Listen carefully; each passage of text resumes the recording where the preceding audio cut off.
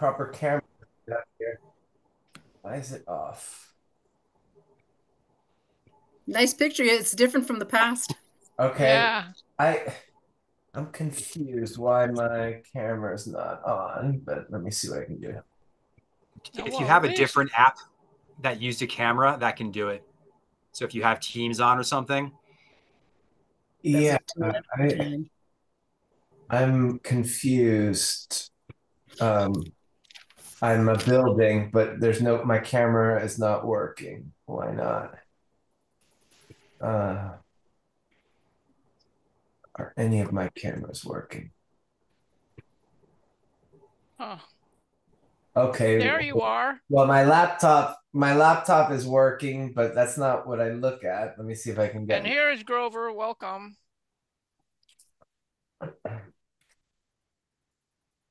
Well, we do see you, Gaston. Okay, so- all right. Well, um, I'll leave that for now until I get my other camera set up.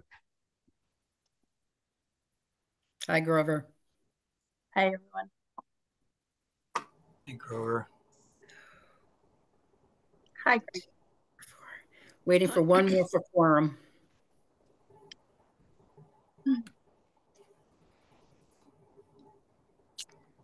Yeah, I don't. I haven't heard from anybody that they're not coming except for um Paul.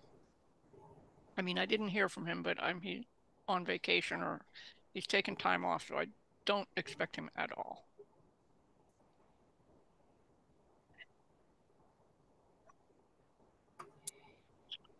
And here is Rob. Welcome, Rob.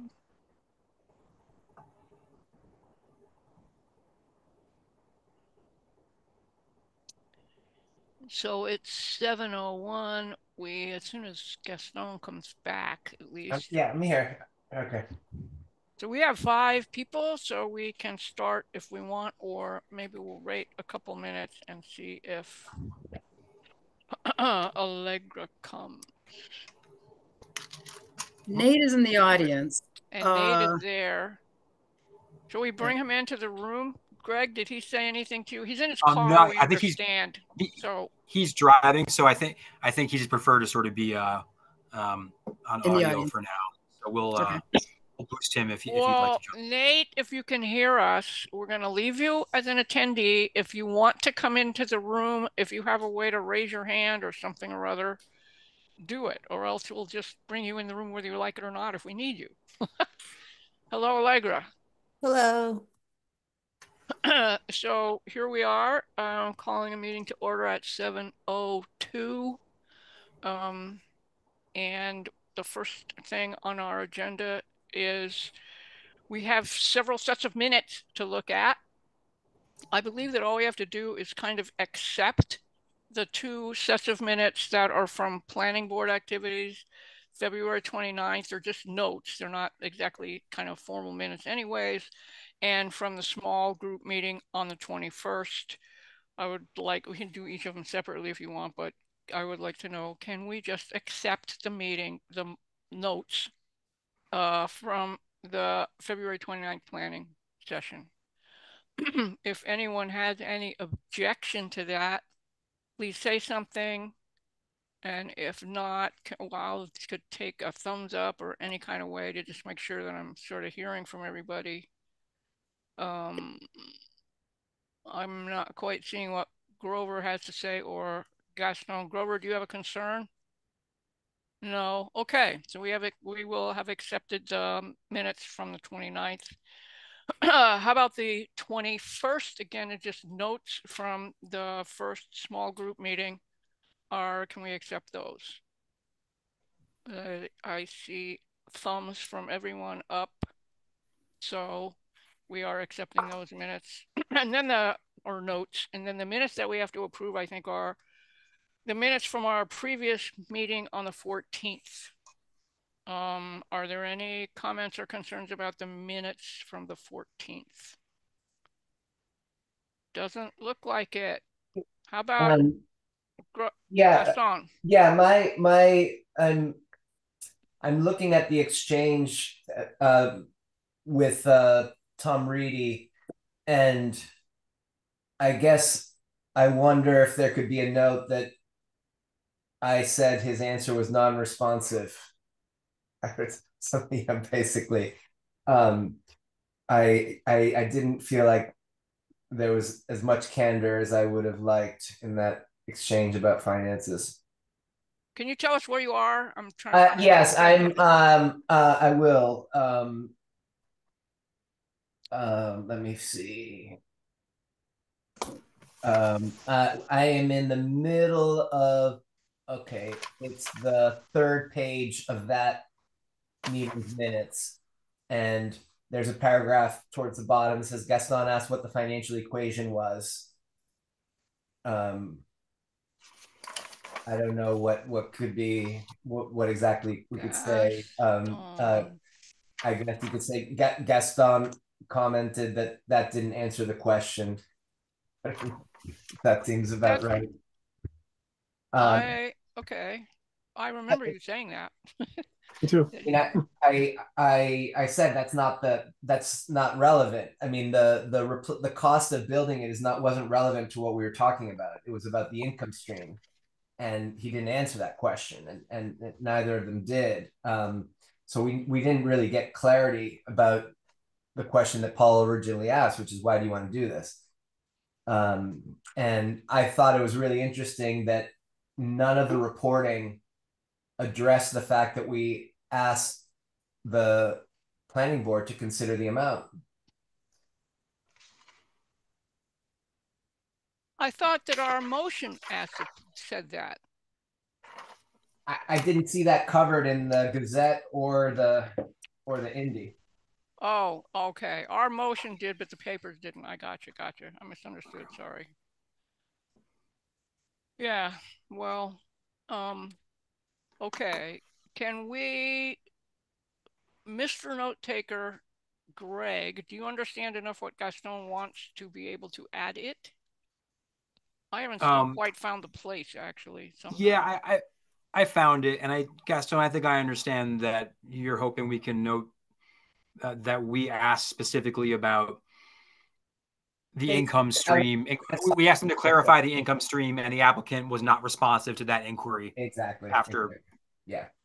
Can I just, I have two things actually. Um, one is I think Nate might be in the audience, but then the other is um on the, I think it's the next page towards the middle, again, it says Gaston reiterated that the trust had not yet reached clarity of a different payment amount than detailed in the bylaw. I don't know if that fully addresses the fact that we were wondering about more money, but Different thing, though. I mean, I think Yeah. he was talking about us, and but but in this case, the absence in the notes here, I think, is what Gaston is saying is not highlighting that they in fact did not answer our question about that. Okay. Yeah, and I, I- um, Allegra, we were saying before, Nate is in a car driving somewhere. okay. So we're kind of leaving him as an attendee unless Okay. he does something to let us know he Okay. really wants to come, or we really need to ask him something and we bring him in the room. So Okay. he's kind of a listener at the moment. All right. I apologize. I missed that part. That's okay, no problem. I miss things all the time. Um, so, uh, are we, if we make that amendment, which Greg says he can make because he knows where it is, and are we okay with the minutes then as amended? Do we have, are we approving the amended minutes? Again, I'm looking for thumbs and I see uh thumbs everywhere. Unanimous approval of the minutes. Then I have two other just things that I want to make known. Um, Mindy Domb is going to do some legislative updates herself. She's going to come. Grace is in the is an attendee now, but Mindy herself will come. But she might not be able to come at the particular place in our agenda where we have put those updates. When she shows up, without exactly interrupting a particular conversation. But anyways, we will probably adjust the order of the agenda to bring her into the room in a way that is most convenient to both us and her, but to make sure that we get her. And the other thing is that whatever else we move around, we have an update coming from Jessica Allen and it can't happen before eight o'clock. So those are constraints that we're trying to make the the agenda work within, and I believe that they probably can, but uh, so if there's nothing else about the minutes that we've just talked about, we can move on to talking about the notes from the first strategic planning process. If anybody has questions, comments, thoughts, we will be having our second meeting the coming Thursday, this coming Thursday. Um, there are notes there. The next meeting will be 418 at 11 a.m. oh, I have one other announcement I realized that I need to make, which is that um, Corinne has unfortunately and regrettably, from her point of view, had to resign for personal reasons. So we have another vacancy again, but um, she was she was very thoughtful in her response and sorry that she was in a situation to have to do with what she thought that she had to. So yes, is that a hand up? It is. Can I just clarify, is this plus Paul who's missing tonight our full membership then? Am I We missing? have- Okay, Yes, we have inter, so we have, we have, now we have two vacancies. We have interviewed someone for one of them, but that's, nothing has happened so far. So, so yes, okay, thank you. okay. But we're at quorum. We have a quorum. Yes, okay. here we are. We have six of us. We only need five of us for quorum, I think, so we're, we're still good. Thank you. Because we're also dedicated and show up. It's great. Um, so I don't know if anyone has, anyone who was at the small meeting, the strategic planning process meeting, has anything that they want to report out. We have a conversation that we will probably have next time and have a longer report at our following meeting. But so if anybody has any questions from looking at the notes that they read or anything, we would, one or some or other of us would be happy to respond. Well, let me just um, say that that uh, following the meeting, um, Greg and Shelley started developing goals. So, so in in the meeting, we we basically uh, came to consensus that there were there were three main areas of of interest that that the whole group had um, identified as as potential uh, sources for goals. That is units, uh, funding, and some some way to address uh, the market, um, advocacy, working with UMass, uh, that kind of thing. So three main um, areas, three main topics. Um, and the and the draft goals um, you know, this is extremely preliminary. Um, and obviously, we're not going to decide what the goals are. We're all going to decide. Small group is not going to decide. Everyone's going to decide. Um, is regarding units or development, um, support the creation of 250 homes affordable to people earning below 100% AMI over the next few years. That's just a broad goal. We could obviously we should discuss it and tweak it funding secure $4 million over the next five years to support the work of the trust. Um, regarding the market, we were not really able to come up with a, a, goal that we could define, that we could lay out. So, so that's that's just a um, FYI. We recognize that that was something that the, the body was interested in, but we're not sure that we can actually come up with something. Thanks, Rob. so obviously it's a work in progress and uh, Grover has a hand up. Yeah, Rob, uh, thank you for that report back. Can you, I didn't quite catch the, your final sort of three points of the specificity of the goals can you say what it was for the unit goals? Yep. Um, so the draft proposal is support the creation of 250 homes affordable to people earning below 100% AMI over the next five years. Okay. And, And so then- under that, we might have, you know, different strategies. Okay.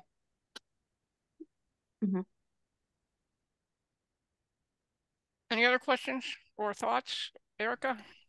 I was going to add, one of the things Shelley um, asked us to reconsider is um, not to create too much specificity around what we might consider uh, priority populations, um, because she felt that, uh, and, and I hate talking for her because I might have misunderstood it, but um, that it would put us too much in an um, pigeonholed us, whereas it would n- not give us the flexibility around allowing us for opportunities.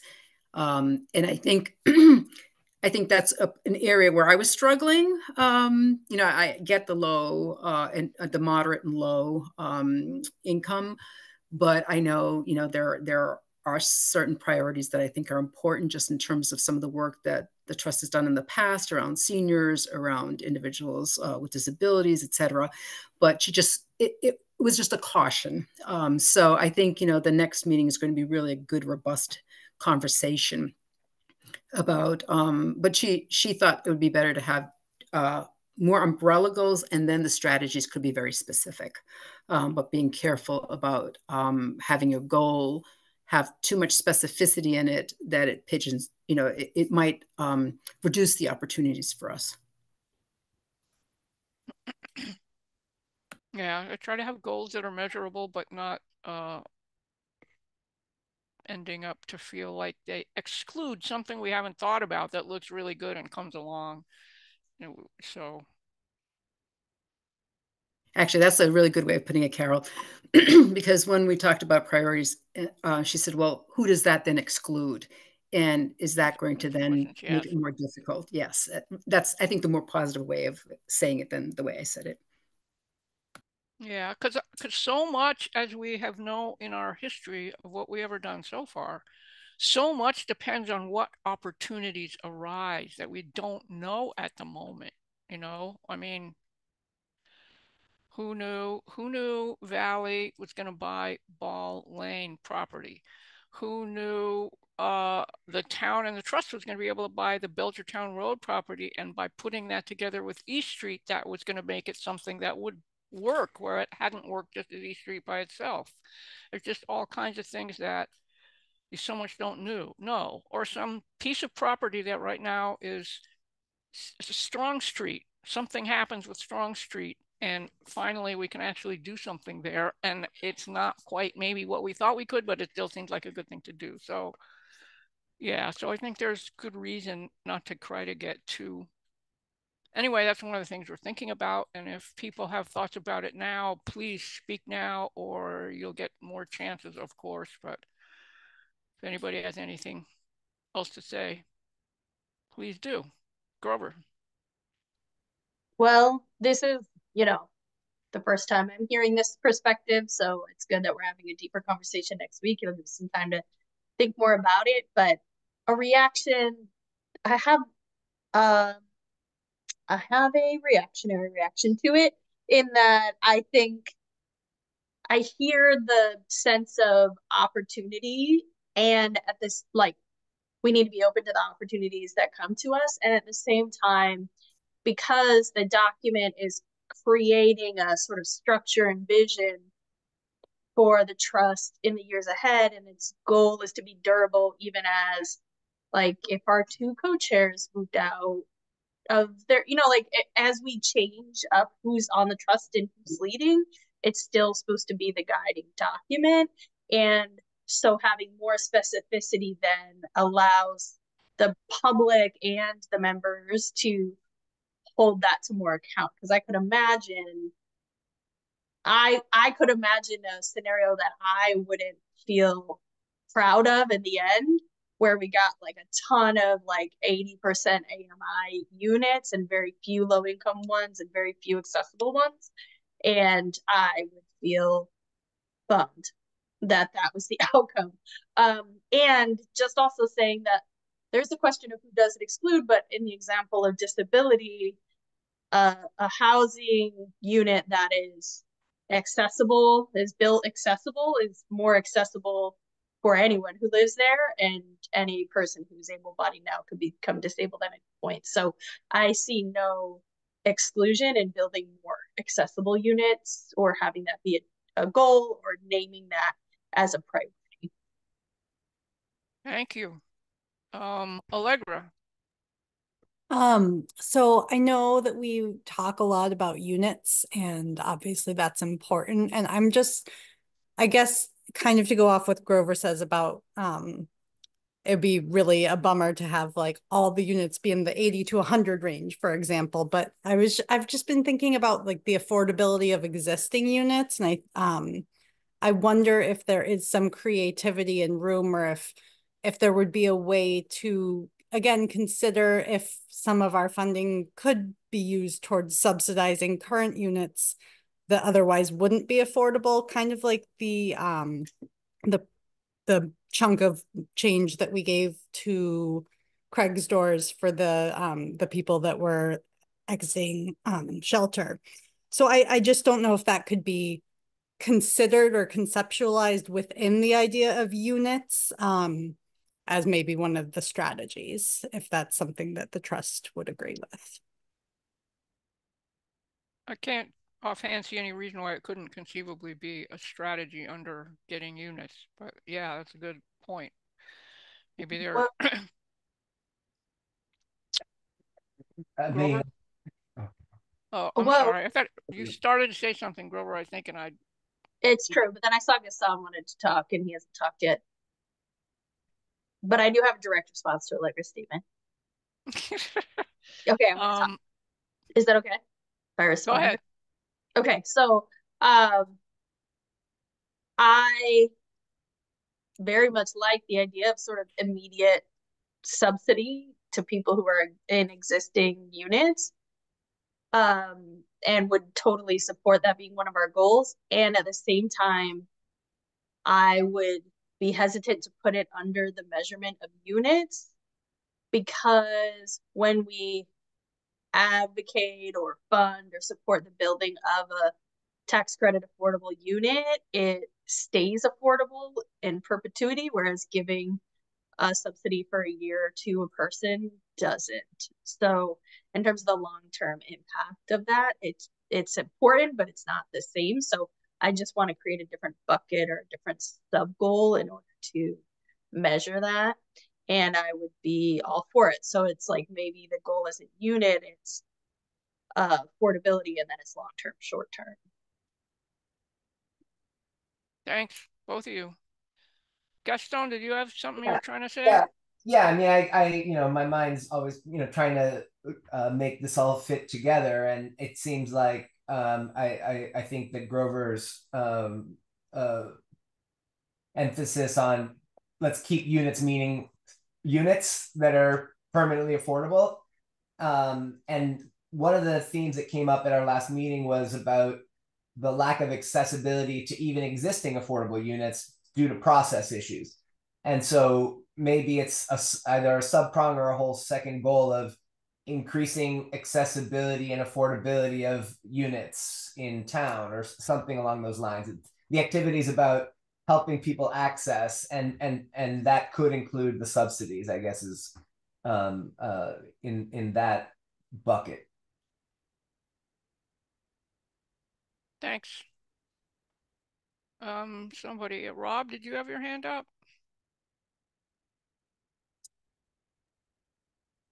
yeah so um i would say that uh, so so there's there there's another set of goals or another goal, which is fundraising, raising funds, and and one is not subservient to the other. So so we want to um, have full million, or, or whatever we want, whatever we decide to choose, so that we can provide funding to Craig's doors or or to whomever. Not not so that we can accomplish the first goal just, so that we can do all the other things that are important. Yeah. Thank you. Anything else? We'll clear these as an ongoing conversation. And if anybody who isn't part of the small group wants to come to the meeting, of course, you'd be very welcome. Um, it's the 18th at 11 o'clock. Yes, and it's for an hour. Shelley will be there too. Um, If- I was going to say, sorry, Carol, I didn't have my hand up. Um, we okay. are probably going to spend um, a lot of time in May going over what the subgroup has come up with next um, Thursday. So um, Carol and I and Greg um, talked about uh, really putting aside some major amount of time where we can actually come back with what is sort of being discussed as a draft, and then the larger group can look at it beforehand, and then we'll have much more time to digest it and provide feedback to it. yeah, I think there's I think there's still a lot of work left, and so getting even to a draft that's uh, skeleton of a draft will be something, and there'll be a lot of work after that as well. so moving on, if I can, we would have now some updates on the status of some other town projects, which I think the first of those is a VFW update, which I believe is coming from Dave. I see that you're there, Dave. Would you like to speak, please? Hi. Good evening, everybody. Sorry, I was between meetings and just trying to eat a little dinner. Eat dinner. That's a good So thing to do. I'm, I'm here, I'm listening, but uh, try to get a little dinner in.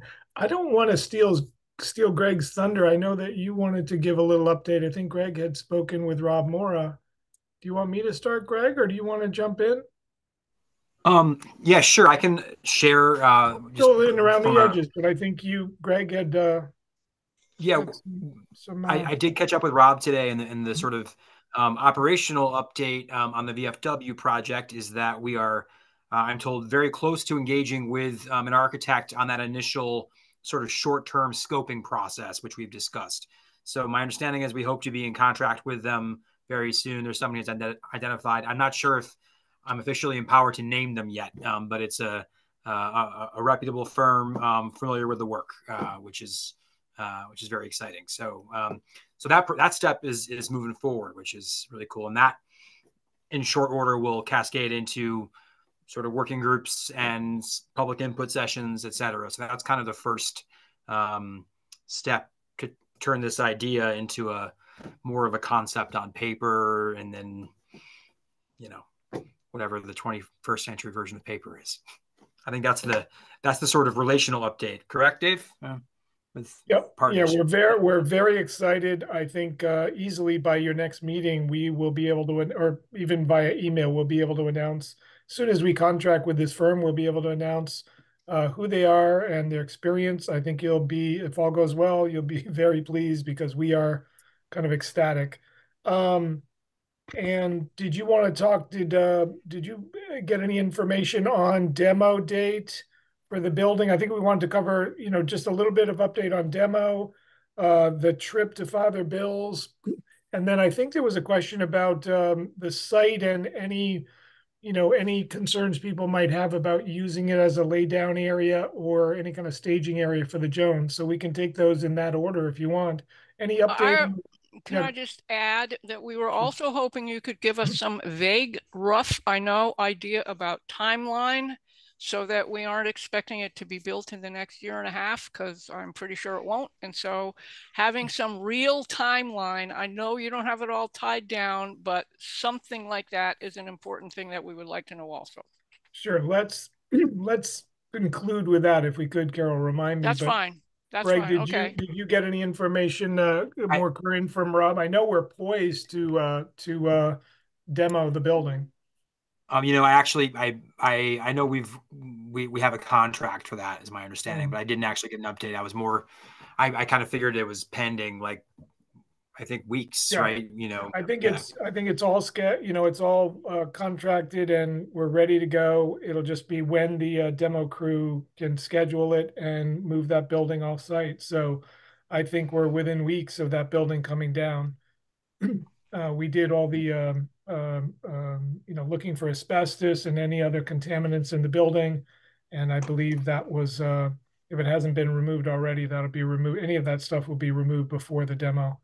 And so the site will be clean. And then the uh, question about uh, laydown area, um, I guess we'll save that till the end because that's related to Carol's question about uh, timing. Uh, we are scheduled to go down to Father Bill's on uh, Wednesday, the 17th. I believe Erica and Carol, um, I believe Erica uh, is able to go with us, uh, but Carol, as a co-chair, has a conflict. So did you two want to jump in here and talk yeah, about that? Yeah, so we, well, we wanted, I wanted to know, we wanted to know if there is a trust member who would like to, just one person, because we don't want to crowd the van too much. But if there's someone who would like to go with the group and Erica, because since I can't, uh, if there is anyone, please, please volunteer. Um, just to give people a sense, because I know you have all have busy schedules, we'd probably be leaving approximately eight in the morning to get down there 10, 10, 15. We'll probably have about an hour, hour and a half to uh, meet with some of the staff at, um, I almost said Craig's Doors, at Father Bill's. And um, uh, uh, by the way, uh, Tim McCarthy and some of his staff will be going with us. Um, so an hour, an hour and a half. Uh, they need to be done by about 12, 1230 um, we could grab a quick bite to eat, or if people bring sandwiches or whatever, a little lunch, we can turn it right back around. And barring major traffic, we'll try to get back here by, you know, mid afternoon, three o'clock, maybe three thirty, something like that. And we're use we'll be. Uh, I do have a van from the fire department uh, that we're able to take uh, one additional person from the trust. So that's kind of the the rough schedule, and we'd you know, we uh, we'd meet at town hall or something like that. We will work out the the fine details here in the next three four days. Um, so if anybody would like to, you could be in touch with uh, with Erica or Carol, and and we'll make it happen. Or Greg. Greg is going. I think Rob Mora plans to go. Nate Malloy, Tim McCarthy, and and a couple of his staff as well. So yeah, so be great if somebody. I know it's short notice and a difficult time, but if it can work for anybody, it would be great if someone else from the trust goes. So, yeah. Back um, to you, Dave. Okay. Um, so there was a question about, uh, I think in the newspaper a couple, three, four or five weeks ago, there was some reference to the um, site as a possible laydown area or staging area for the Jones. And I think the town manager is offering that. Uh, first off, we don't, we don't know um, yet uh, bids are not in for the Jones Library. So that is a step that the town still needs to take. I, I believe bids are due later in April for the library. So there'll be, you know, information coming to all of us, to the community on how those bids um, uh, uh, shake out. Um, but in terms of a laydown area, we don't see this. I mean, if all goes well with the bids for the Jones, um, that building will be built before the shelter is built. I mean, we have this is a, a, a horizon here. We're probably talking, you know, minimum three years away. Um, this is what it's going to take. You know, we're talking tens of millions of dollars to build this building. Um, so we've got a long way to go with funding, working through DHCD. Um, I don't have a cost estimate. That'll all come out of the work with the designer. But um, with the with the per unit cost and construction cost uh, where they are, you know, I would not be surprised if it, this is a $30 million building. So it's going to take a few years to pull that whole package together, not unlike what it takes uh, Wayfinders or a Valley CDC to pull together one of their projects. Keep in mind, you know, it's not going to be the town that develops this. We we are going to work with you. Um, you'll be at the table. We'll put together an RFP. We'll RFP the site for what we'd like on the site. And we already know there's interest uh, from our partners in the in the affordable housing and sheltering world. So we'll put together an RFP, um, uh, solicit bids, interview um, uh, and select uh, the, the appropriate firm. And then they will go through a similar process to what um, um uh, East Street School or um, um, you know, Ball Lane went through. So it's going to take, you know, some really hard work and um, advocacy in Boston to to get us the appropriate funding. So we're a couple of years away, and uh, th- there should be no problem um, moving off the site um, with the Jones any of the Jones work if needed. So that's kind of where we are. Any questions about the VFW project? Then shall we move on to the new housing production plan? That's probably short. We were trying to find a contractor. Oops, Erica has her hand up. Sorry. Um, Okay. so I just, I just wanted to say to, um, our trust members that if, uh, none of you can make it, but you have some really, really good questions for me, uh, to ask uh, when, uh, we go, um, I think that would be very valuable. So please, um, you know, uh, send, send them, you know, the, the questions to Carol and to me and to Greg, uh, and I'll make sure that I get answers. And I'm hoping that there'll be a possibility of maybe taking some pictures. I know, you know, uh, confidentiality would be important if they're if their clients there, but um, just to really get a good sense of how they developed their site and the sustainable funding that they're getting to maintain Father Bills will be important to understand. Carol, if I could, before you move on, maybe I missed, I missed this because I joined a few minutes late. Did, um, you are aware of the planning board's decision last night for Barry Roberts project? Was that on your agenda? So, We didn't, know it was gonna Oh. be an announcement later, Oh, but go okay. ahead, announce it now. Well, I think Greg, you're, you're in the know about that, right? Sure, I am. Yeah, I am. I'm, I'm happy to um, update on that. So uh, the planning board did uh, approve the special permit. It was a special permit last night for the um, South Pleasant Street Hastings Building project, which our group discussed um, at our last formal meeting of the group. Um, and uh, they did approve uh, the payment in of the inclusionary units as well. Um, that the my understanding of the number that was approved was was reflected in the bylaw. It's unfortunately it, it, it was not a, a larger number than that.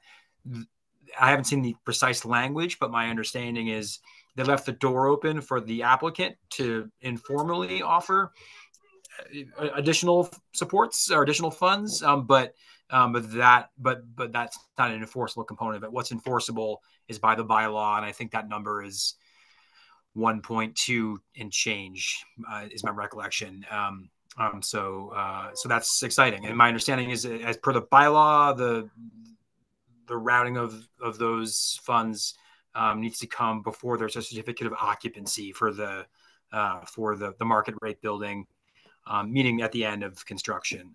Is you know, and that's that's kind of what's written down. Perhaps it could be sooner than that, um, but I think we could require that it not be later. The, Uh, the other, Gaston, oh, I'll wait for Dave to go.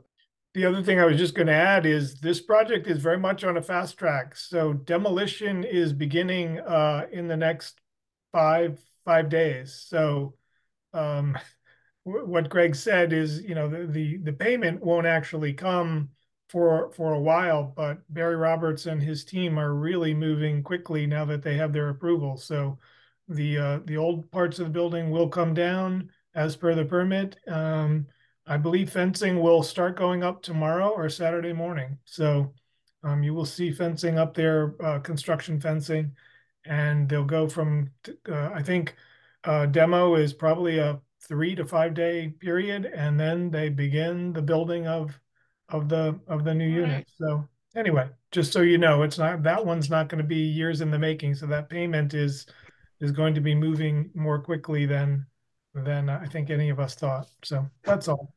Interestingly, it is always quicker to build something if you don't have to make it affordable and go through all kinds of financing hoo-ha in order to get there. Ho, ho, ho. Gaston, did you have something Yeah, to say? yeah. I I was just would like to request feedback about the extent to which the planning board did what we asked them to, which was to study the the amount rather than just take it from the bylaw.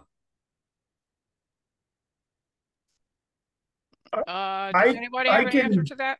Nate, There's Nate, Nate. do you want to say Nate was something? there. He's probably the best person. He's got his hand up, so speak, Nate. I'll make something up. They um Yeah, it was kind of interesting. Uh, Tom Reidy had said that as, you know, representing the applicant, that they would be willing to pay more. Um, you know, some of the planning board members felt that the bylaw didn't have the flexibility to require more.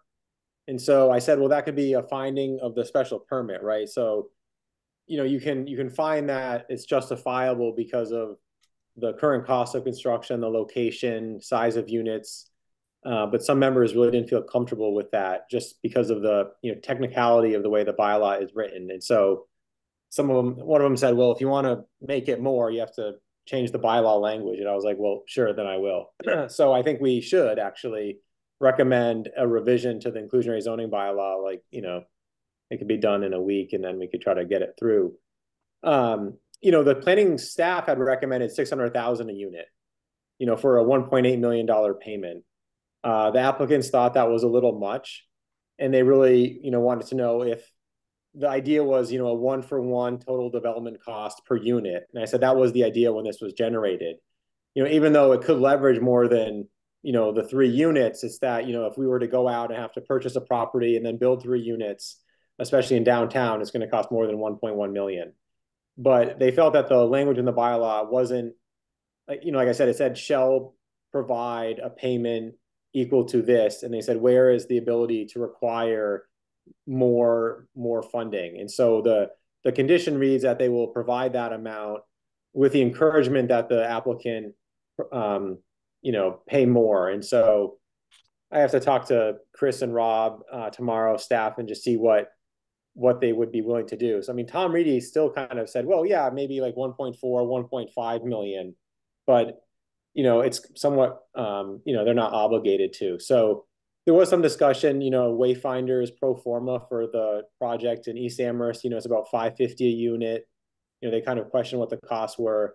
I still think that, you know, there's some discrepancy about how you figure out what the value of a unit is, right? And so um, you know, I, I, was saying that it's a 10 to 12 year payback, maybe less. They're still saying it's a 20 to 22 year payback. And I, I disagree because once the building's built, if you take the value of what the rents are and you just say what, you know, gross numbers, what is it going to be? You know, after so many years, there, you know, that payment is is made, um, especially with the rental charge. I mean, they mentioned 2250 for a one bedroom or 2300 for a one bedroom going higher. So yeah, I mean, the the planning board actually discussed this for a bit. You know, they, like I said, they, I think if the bylaw was written in a way that they could allow it, they would have, but they didn't feel like they had that authority to make that a condition. So I, I think for me, the uh, end of the day is we should revise the bylaw, you know, change the formula a bit. You know, they talked about like, you know, what if it's different unit sizes and what have you. And so I think we need to have some language to allow flexibility um, they did understand that the trust, you know, I said that you coalesced around a payment pretty quickly, uh, in part because, um, you know, you know, it's, it's great to capitalize the trust. There's flexibility in those funds, and that you know, there's other ways to get affordable units. So the loss of three affordable units could be leveraged to get more. Uh, and so, you know, they didn't. One of the members actually said, you know, well, should we just require these units if they're so valuable? Uh, but the board you know they they respected the recommendations from the trust and they didn't they they didn't necessarily think that that was the case but you know every time there's a request for this it is a special permit and there's no precedent setting you know um, basis. And so you know if it comes up on a next project it's not like well because they you recommended and they recommended or allowed a payment in lieu that they need to follow the same course of action. And so i think that you know uh, as it moves forward, I think it, you know, everyone can make, you know, that decision on a project basis, but. Thanks, Nate. Uh, Grover? I saw Gaston was actually unmuted first. Do you want to go? Well, my I, I I never muted myself again, but my, my follow up just was um and I guess Nate and, and company who is communicating to the town council to share this experience so they can process it and make any change they desire. Yeah, so I mean, it's something that I was going to talk to staff about. You know, if it, you know, who sponsors that zoning amendment. Um, you know, it, it could be a really simple thing. I've often said that maybe we should have another tier of affordability in the inclusionary zoning, so that you know we we have a twelve percent um, calculation if there's you know basically twenty more units, but could we have a 13 to 20 percent, you know, or up, you know, some difference that goes up to a certain AMI or restructure it or so, you know, I, I think if we're doing that, it might be a chance to say what else would we want to consider. Uh, so sometimes I think that, you know, just 10 or 12 percent of the units is not a big enough percentage and it hasn't deterred development in a way that when we first did this we thought it might you know some there was some concern that if you have too high a percentage of affordable units you actually then discourage development but i don't think the market uh, is swayed yet by that number. So you know can we so i think there's a few adjustments. Um, and you know the idea right with council now is that town council that we could be a little bit quicker in terms of a zoning amendment. So if we think that those other pieces are going to bog down this one amendment, we could just make a change to the payment and lieu provision while we're looking at other things. So I think it can happen quickly. It's just the next, it will go through a process, but I, you know, I'd like to get that moving actually just on the uh, kind of fresh on the heels of this. My question, my question is following up on that related. So can you give us a sense, Nate, of like the next three steps of how that would happen. So, you know, like yeah. it sounds like your team is discussing it and then what you you take it to a council member to sponsor it you propose it yourself no no i, I would I, would ask that the planning board sponsor it and so that you know they're they're a, a named body that can bring in a, a, zoning amendment forward. Otherwise, it would go to council, but then they refer. You know, it, it it it could be a more circuitous route. So if the planning board, you know, actually would, you know, I think they kind of said it rhetorically, like, oh, revise the bylaw. But I'm thinking, well, if it's a really simple change, let's do it. Um, you know, they might ask some more questions about how do we justify what the amount is. But to me, it's kind of like the bylaw says, you know, shall provide a payment. And to me, it's like you could just put in some little phrases like at a, you know, provide at a minimum, but could be greater than, you know, something. And then just, that just allows that. So it's like, you know, it could be a really simple amendment. Um, so yeah, so I would talk it over with the building commissioner and planning director, see if we can get it in front of the planning board at their next meeting, uh, which there's going to be next week, but uh, they're taking a week off. So it'll be, you know, in a few weeks and then go from there. And so, you know, if they agree to it, then they would recommend it to council and then they would have a first reading and it would be referred to, you know, a few, you know, subcommittees of them and the planning board again, and then come back. Uh, but, um, you know, it, even if a, a, quick amendment would, you know, it's a few months, right? There's a number of steps it has to follow, but. Anybody else? I guess I would like to suggest trying to do the simplest possible amendment and worry about all the rest of the stuff later. Just put in at least and more than case, but whatever the thing that you just said. So it op- so it leaves the possibility, it leaves the floor where it is, but it creates a possibility to do more so the planning board doesn't have to feel like they don't have the authority to do more if they want. That's the simplest thing. Worry about doing more than that later. But if you can take that to the planning board, I at least personally, encourage you. I don't see anybody sort of disagreeing with that here right now. Um, Allegra. I think I agree with you, Carol, but I also think it would be, and maybe this requires more thought and planning, but I do think it would be helpful to maybe increase the percentage of units, um, given the fact that we have seen this hasn't deterred development as of yet. Um, so I don't know if that would again be another easy fix to say like from 12 to 17 or whatever it is that we choose to. I mean, that seems like a weird number, but it's the one that came out of my mouth. So um, hey, let's go with it. yeah, perfect. 17, 17%. Let's do it.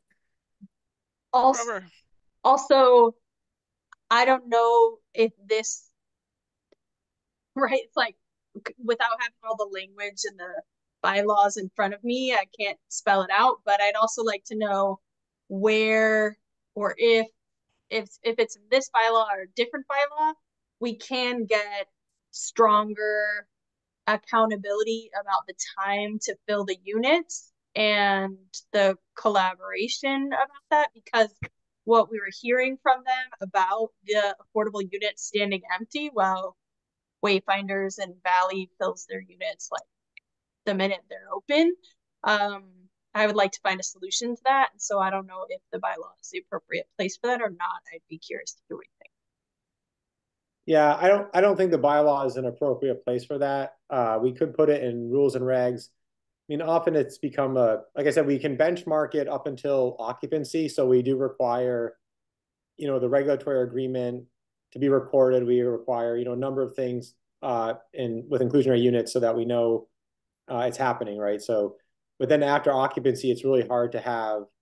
We could say, you know, some condition about that, um, but it, you know, to be in the, in the bylaw seems a little strange. I will say that when Gabrielle spoke to the trust and said that you know there's all these units that are vacant, it was a little misleading because 11 to 13 East Pleasant is going through marketing right now. It's not as if the units have been vacant for years, right? They actually just got their um, TCO, you know, a few months ago, and the marketing was following right along. And Center East Commons on Main Street, you know, has three affordable units, and one of them was going through marketing uh, late winter.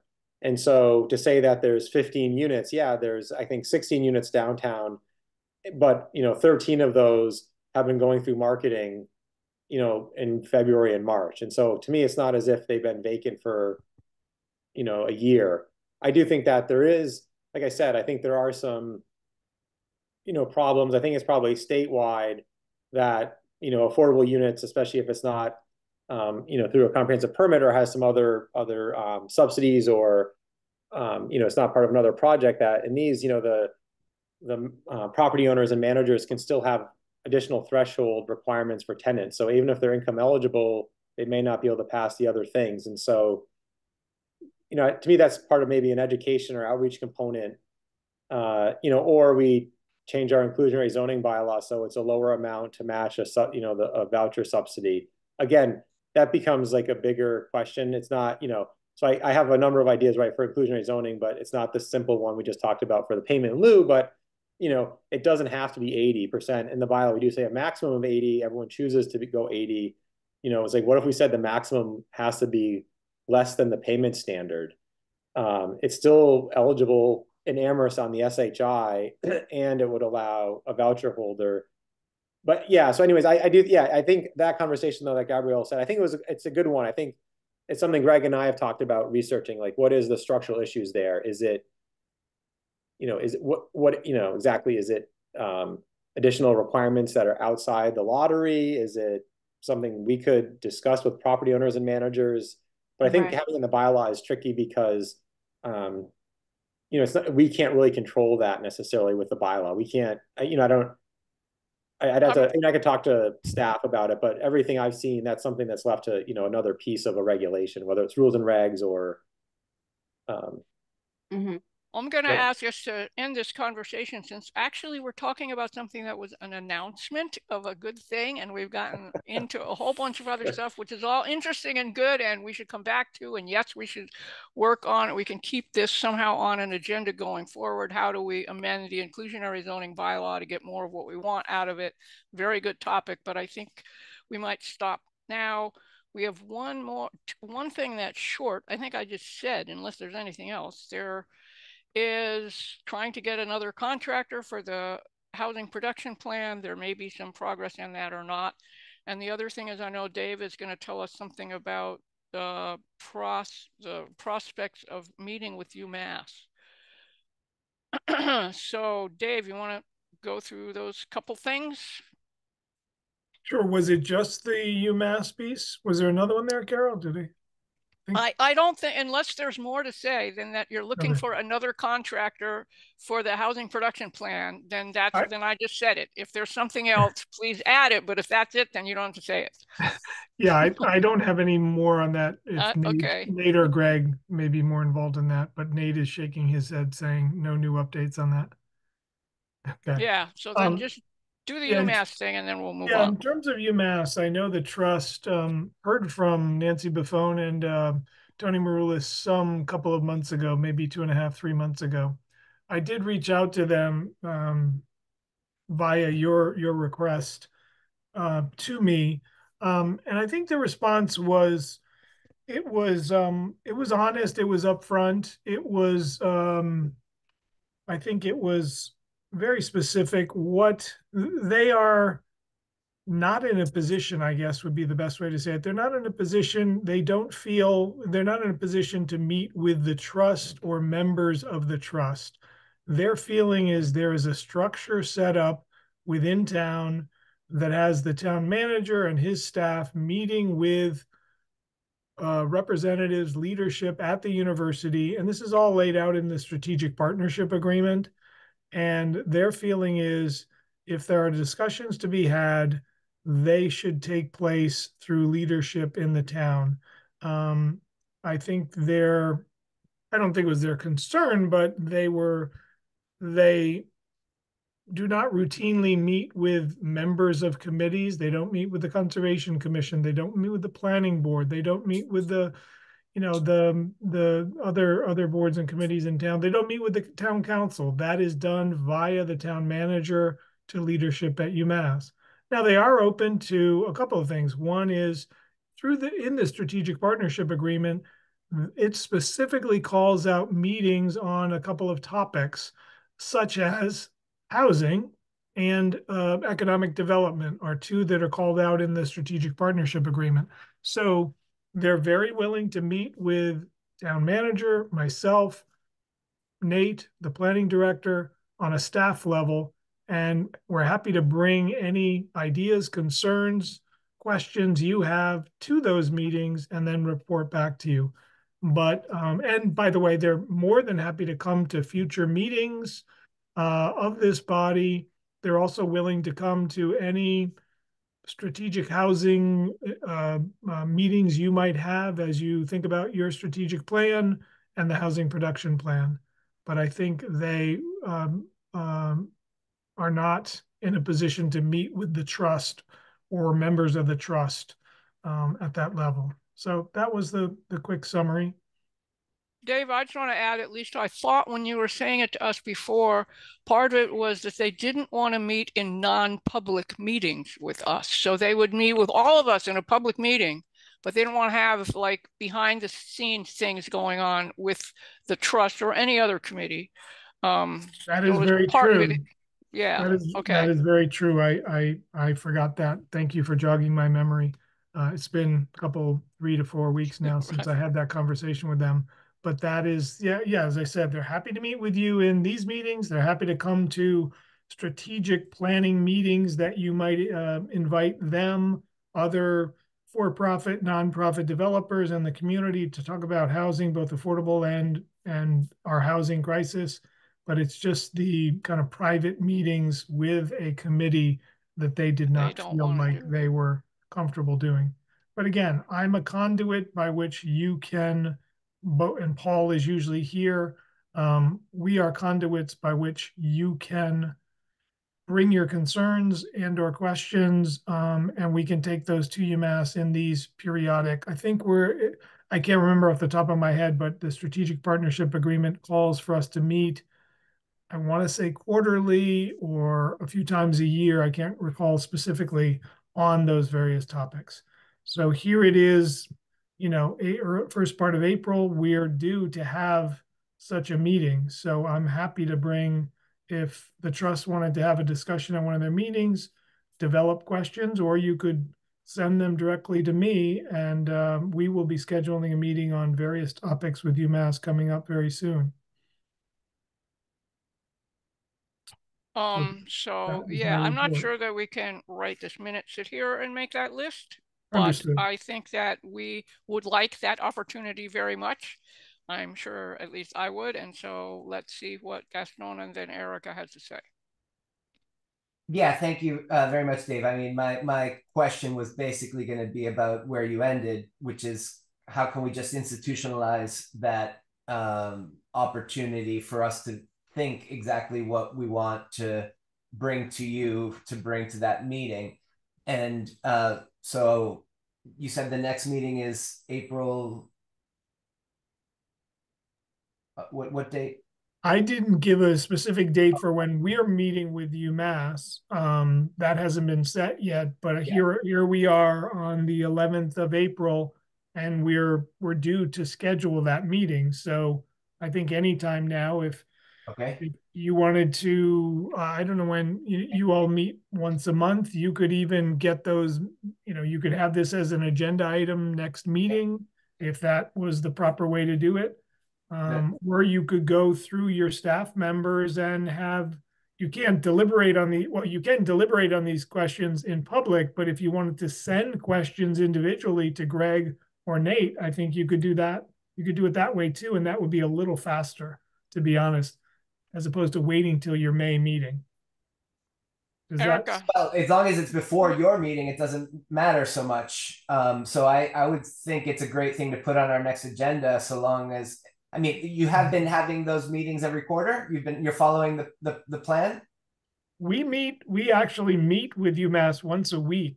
So uh, All we have regular meetings with them. We Okay. have not had a meeting in 2024 where we focus specifically on housing. So that's what I'm saying. We're, we're due to have that. I don't have a date yet. The sooner you can Yeah, formulate some questions, the better. So it's, if it's at your next meeting, that's fine. the only, the other thing is I, I'm looking for the twenty twenty-three partnership agreement. I can't find it on the website. Oh, I'm finding only the 2015 one. I wonder if we could get in the new, Yeah, I'm sure Nate or Greg could dig that up on the website and send it to you all. yeah. thank great. you. That's a Thank good you. idea. Uh, Erica and then Greg. Thanks. Um, so I agree, we need to meet, um, because I think in the past we've talked about a lot of things that we would love to have a conversation or at least recommend, such as the possibility of surplus land or land um, that they could identify uh, where we could uh, maybe partner around both student and faculty housing. Uh, we talked about the possibility of making some either about enrollment caps or at least um, getting an agreement that if the enrollment caps are moving, that the town should be notified if it's going to impact off-campus housing or policy issues such as when they made the decision around allowing sophomores to go off campus where you know the town should be notified. Um, and then use of you know their facilities is that something that or other things that they can give back to the town to allow the town a little bit more benefit of having them? And then just um, thinking about how we can actually come to um, sort of a partnership agreement that we both want the same things, which is that we want to have accessible housing for student and faculty, but not have such a negative impact on the community here, which I'm sure that's also their goal as well. So yes, we, we do need to meet. Um, I'm, I'm wondering if May is going to be a little tough because we're already having a whole bunch of other uh, agenda items, and I'd be willing to meet with people beforehand. Um, but it sounds to me that the town's meeting every week as well, so it may not be that um, necessary to expedite our conversation. Yeah, and just to be clear, we don't meet every week on housing. We meet every week on a range of topics, but this could easily be one of them. You know, again, I would I would wait for your input, however you gather it, and then we I would schedule this discussion. Um, I'm, I'm, well, Greg first. Yeah, I was just gonna maybe propose a potential process there. Certainly, folks can email questions, inquiries, whatever, directly to me. I could synthesize all of those, and then we could look at a, you know, that synthesized product, maybe in a relatively tighter window in a meeting, to sort of confirm that that's kind of you know what the, you know, what the collective desire is to to understand from them, and then we could transmit that to Dave. Is that a process that So that, make yeah, sense? so if what we agree to is that whatever suggestions any of us have, we will email them to Greg. Greg will put something together for us and we will bring it to the May meeting.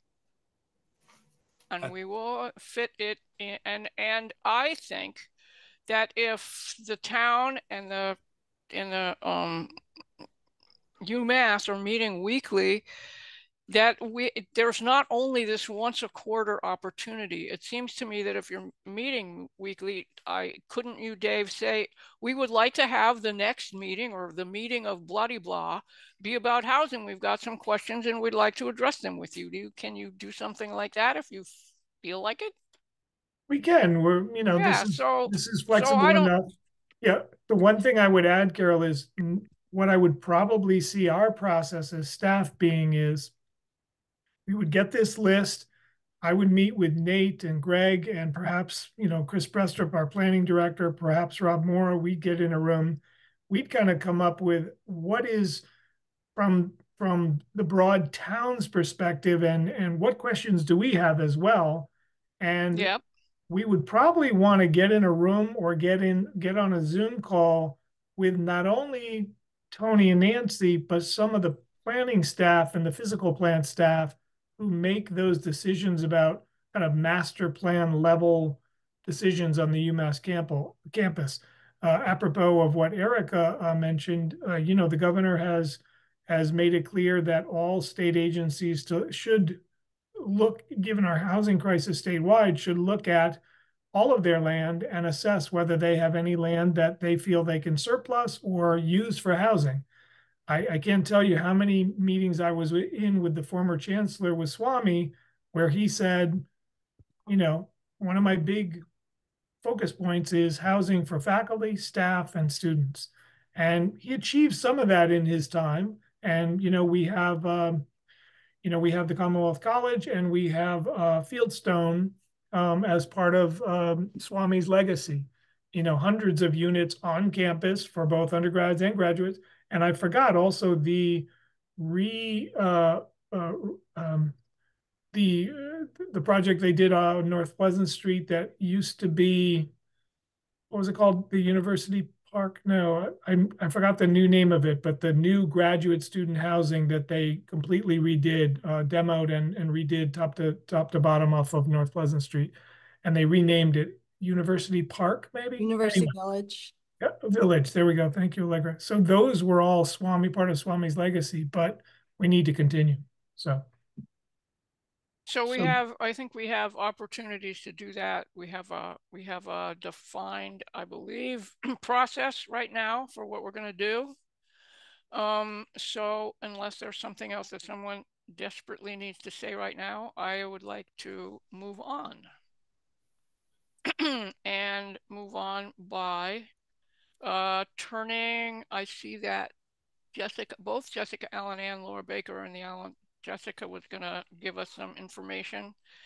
And I'm gonna turn the meeting over to Erica to do Thank that. you, Carol. Thank you very much, Carol. Um, so we want to um, report on current projects, and we had asked uh, Jessica Allen, um, and she is joined by Laura Baker, to um, join us in the room and to announce um, the wonderful news that the ZBA has approved um, the community, the Amherst Community Homes. So, uh, one, we also asked her to um, talk to us about how we can continue to support the project moving forward. But we're very excited to have Jessica here, um, who is um, the real estate project manager and has done actually a wonderful job in outreach to the community, um, both with site tours and just making sure that the community is involved in any concerns or any um, ideas about design and making sure that it's a you know welcoming um, uh, development here. And the last thing I'm going to say is I live in North Amherst and we're so excited about this project. So thank you, Jessica. Sure. Thanks for the invite. I really appreciate it. Um, I love talking about this project, so I'm happy to have an audience who wants to listen to it. um, so there's been a lot that's happened, uh, I think, since the last time that we've seen one another. Um, so the big news is that we received our permit from the Zoning Board of Appeals. Um, after about a seven month process, we filed the permits in August. Our first hearing was in October and we wrapped up in March. So that was huge. That's awesome. Um, the decision has yet to be filed with the town clerk. I understand that it will likely happen tomorrow. The town's deadline is Wednesday, so it will certainly happen before then, uh, next Wednesday. And uh, once it's filed with the town clerk, then the uh, appeal period clock starts, and we have 20 days. Hopefully, nobody will come out of the woodwork. Um, and then once that appeal period's over, we're kind of free and clear from the permitting side. We also um, went through a permitting process with the Conservation Commission since there were wetlands on the site. Um, and so that permit was granted prior to the ZBA. So ZBA wouldn't button theirs up until CONCOM was done. So that is the big the big news to celebrate. Um, we're excited that that that piece is over, but we do have a lot of work that we need to do over the next year before we start getting into construction. So, um, big picture and the big goal is that we'll be breaking ground next spring. So that's what we're targeting. Um, in order for us to do that, there's a lot that needs to happen um, that most most communities don't see sort of behind the scenes sausage making of, of this aspect. So um, again, I'm thrilled that you're interested and excited and, and want to hear more about it. So um, there's kind of like a couple big pieces that are moving forward. So one is the marketing piece. So we have been in conversations with two um, two companies. One is DVM Housing, and the other is OVI, Our Village Initiative. And so these are two businesses that are owned by women of color.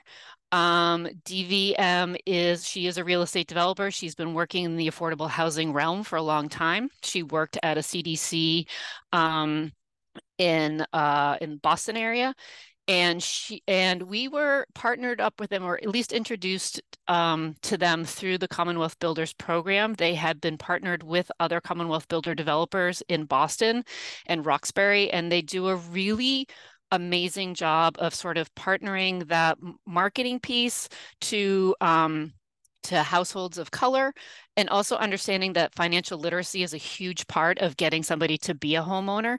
So OVI's mission is that financial literacy piece. And we've been talking internally about using financial literacy and getting people queued up um, and using that as a marketing opportunity so that um, folks are able to qualify for a mortgage because there there are some requirements in order to be able to even be entered into lottery. So you need to be a first time home buyer. You need to be able to qualify for a standard mortgage, which means you need to have a credit score over 660 right now. Um, and you need to have assets that are less than $100,000. You need to be able to provide closing costs um, and you need to be able to put at least 3% down for down payment. So those are requirements um, of the program. So anybody who's going to be purchasing needs to hit those benchmarks. And so when we have conversations about households of color and understanding their financial capacity and the education that has been typically um, done in those communities, um, they're a little bit behind. And so we are partnering with OVI to help with that um, educational piece to get people to understand what does it take to, to buy a house? What are the pieces that you need to have the play in place? and OVI does a fantastic job of kind of hand holding somebody through that process. So it's not like just a one off, like, here's what you need to do, here's a one off workshop. They have monthly workshops every month. They do check ins with individuals. And so our concept really is to try to do the lottery process as early as possible before we even have buildings in place. So as construction starts, we start that lottery process then, giving people adequate time to get their financial ducks in order. So getting that down payment um, money set aside, making sure they have money for closing costs. Um, and so so we're really excited. Like this is a, a kind of innovative way to approach this is to do it that early. And they've been they've been looking to kind of test that aspect of of this. They haven't been able to do that due to City of Boston regulations. Um, so this will be for them it's exciting opportunity to get people a little bit more ahead of the game um, with that marketing piece um, you have a question yes. Sorry i couldn't find my unmute button. That's okay. Um so it sounds like people who might be interested should be like on it right now trying to get some of these ducks in a row. Yeah. So what we we actually had a meeting with them today, and and we need to we need to to work out our timeline and basically using like our our end con- or start of construction and working back from that. So that is what we're working on right now.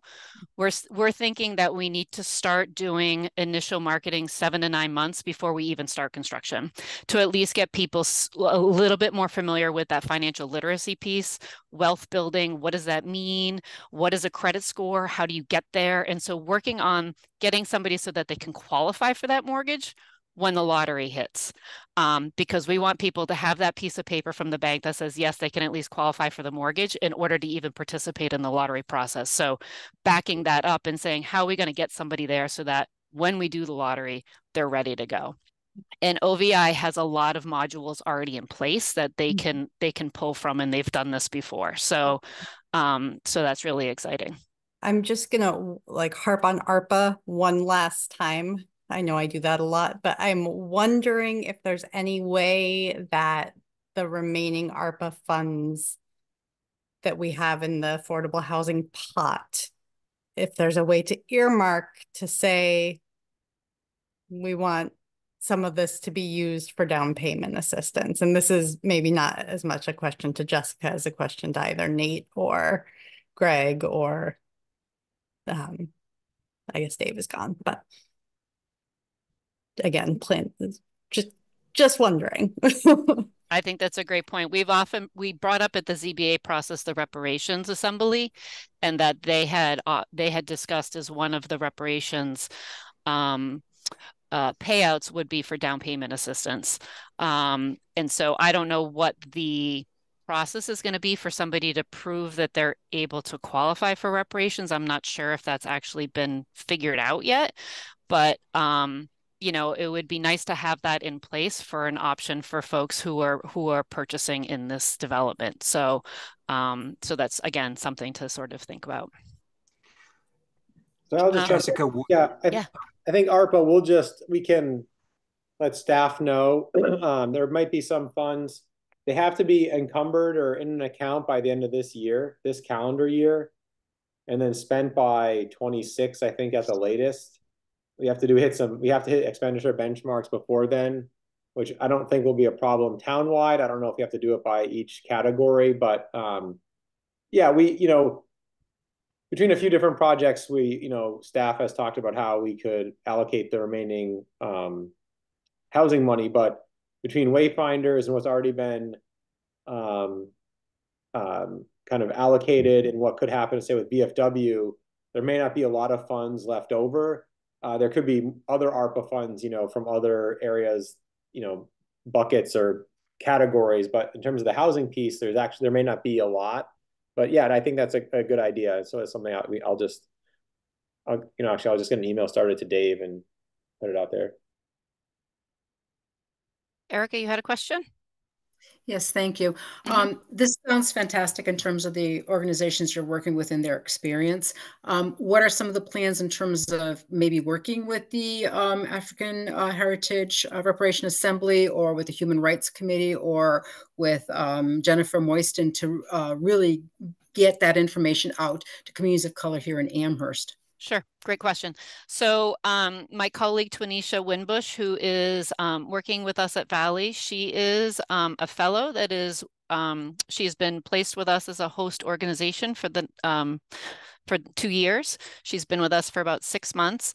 Um, she's a fellow through the um, a program through OPCO in Boston, which is for developers of um, it's affordable housing equitable development. So it's it's targeted to increasing um, people of color within the affordable housing development realm. So she has been placed with us and she has been placed in charge of doing boots on the ground outreach um, for this. So she has already started to compile a database of community um, community areas, Black owned businesses. Um, she watched all the recent videos of the um, Black Business Association in Amherst. Um, and so she's starting to put a database together. This is one thing where I think we could use some assistance from members of the community is if you have individuals that you think would be um, worthwhile for us to do some boots on the ground contact with. Another thing that we're actually looking for are community events or cultural events that are being held in communities of color and that we would actually just be there handing out flyers saying, we have this upcoming project or we have these developments or there's this literacy training um, you know starting again we're having these initial conversations with dvm and ovi to sort of figure out what that messaging is and the timeline and all. But that was one thing. Another thing we talked about today is being representing or being at cultural events or community events to hand out information um, and going to people rather than expecting people to come to us so um, again, if there's any cultural events, I mean, I'm aware of the North Amherst barbecue because we attended that for the design aspect. That's you know the one community event that I am aware of. It happens in September. But again, like if you've got community events that you want us to be aware of or you think it would be great for us to be representing at, um, please pass that information along and I will give it to Tanisha and she will start organizing that boots on the ground messaging with uh, DVM and OVI. So um, so that's part of it. We're also looking outside Amherst. I mean, as you know, there is a local preference that has been um, part of the permit decision here for the seven of the 80% AMI homes. So the rest of the homes are open to anybody who um, is an appropriately sized home, ha household for the home is the first tier of uh, marketing priority. And then second is um, anybody living in a qualified census tract. So that is income qualified. So we will be targeting outreach in those qualified census tracts throughout the region as well. Um, so uh, again, any information you might want to pass on to us in terms of people that we should be contacting, that Twanisha should be having individual meetings with, please pass that along. We would love to have that information. That would be super helpful. So I just sent you um, uh, a link to the powwow that's going to happen in May. Um, I think that's going to be really important, especially for um, individuals from the Native American community, which seem to be most underrepresented when it comes to housing. Um, but I do have some contacts that I'll try to um, get their names um, to you. Uh, and then there's also the Juneteenth uh, event that usually happens, which I think is another big one. That's awesome. So, yeah but I think all of us should put our heads together and um, get as many people as we can to uh, send contacts to you that you can do outreach to. That would be great. That would be great. That's awesome. Yeah, that would really be super helpful for us. Um, so that's the marketing piece. Is yeah, go ahead, Nate. You have a question? No, I was gonna say we were we uh, Greg and I were talking today, and uh, I guess uh, the town manager's office keeps a, a list of events, and oh. so um, you know, we could reach out to Angela or Jessica if you did and copy Greg or myself, but I think they, you know, they're trying to get a, a calendar together for the next few months. And so, you know, like, you know, right. So whether it's school events or community events, there might, there, I, I think there's, I was told that there's a, some list that's being formulated. So, um, okay. Does that go on like the town's website calendar or something? Is that part of the I think it, that's where it'll end up. I was just looking, yeah. but I don't see anything that's consolidated and easy to, to okay. look at once. So, so like Angela is the point of contact for us. I, I, that's how I was told, but okay, um, we can look into it too for you. That would be awesome. Yeah, that would be great. Um, so that's I think it on marketing. Unless anybody has any other questions about marketing, lottery, timeline, our partnership, the financial literacy piece trying to think if there's anything else in that bucket that I should touch on. I think that's about it. Um, so then the other aspect of it that we will be doing here in 2024 is trying to button up our financing. So we've had um, initial pricing from Kiter Builders. They were kind enough to give us um, to take the permitting plan. So they're not fully you know, full architectural plans, but what we submitted for permitting um, and to do some preliminary cost estimates. The, the cost per square foot is coming in higher than what we had initially budgeted. Um, the range, the low range was 332 a square foot and the high range was 406 a square foot. Um, and we were budgeting at around 329 a square foot. So already we know that there's going to be a gap in our budget due to construction costs. Um, and that's just a preliminary estimate. This isn't like our final construction number. So um, you know, as we start sharpening our pencils, do we need to start value engineering certain things out in, in order to hit our budget? That's not really what we want to do. We feel like we've presented a really wonderful plan that we want to stick to. So, um, you know, one of the first things that would might have to go if we run into budget issues is the solar panels. So, you know, we would intend to wire for them, but we might not have the funding in order to actually install them. So that would be, you know, $360,000 that we could cut out of the budget if we needed to, but that is not ideal, not the way that we want to go. Um, so we're looking at different grants or trying to um, find different financing. What makes this a little bit tricky is that Commonwealth Builders in the requirement says you cannot go to HLC for any other funding. You cannot request soft any soft debt funding from from HLC. It's it's against the the rules of Commonwealth Builders. So there isn't a lot of matching money that we can really go to. The um, the town has provided a significant amount of money, which is awesome. Um, we, you know, we'll be getting some revenue from sales of the homes, and those home sale prices are going to be set by mass housing based on um, where the household income numbers are at the time, where the interest rate numbers are at the time, what we think our condo fees are going to be, what those real numbers are going to be once we start really pricing those out. Um, so I suspect that we're going to have a gap in our budget that we need to fill. Um, we may be coming back to the trust if if we cannot find that fill that gap in other ways. So I just wanted to sort of lay that groundwork that you may see us coming for a funding request once we really kind of sharpen our pencils and figure out um, and if we're you know able to to tap into other grants and other resources in order to to fill this gap. Um, so that's um, so that's that piece. Um, so we will hopefully be getting going into a contract with the GC um, within the next couple months. And then we'll start really finalizing that, getting our application into Commonwealth Builders, finalizing that set of funding, um, and hopefully going into financial closing, construction closing, so that we can be shovels in the ground by next spring. So we have a lot of work ahead of us in the, in the next several months. Um, but I'm confident that we're going to get there and we're going to do it. It's going to take some some blood, sweat, and tears in order to get there, but all of these projects do. So.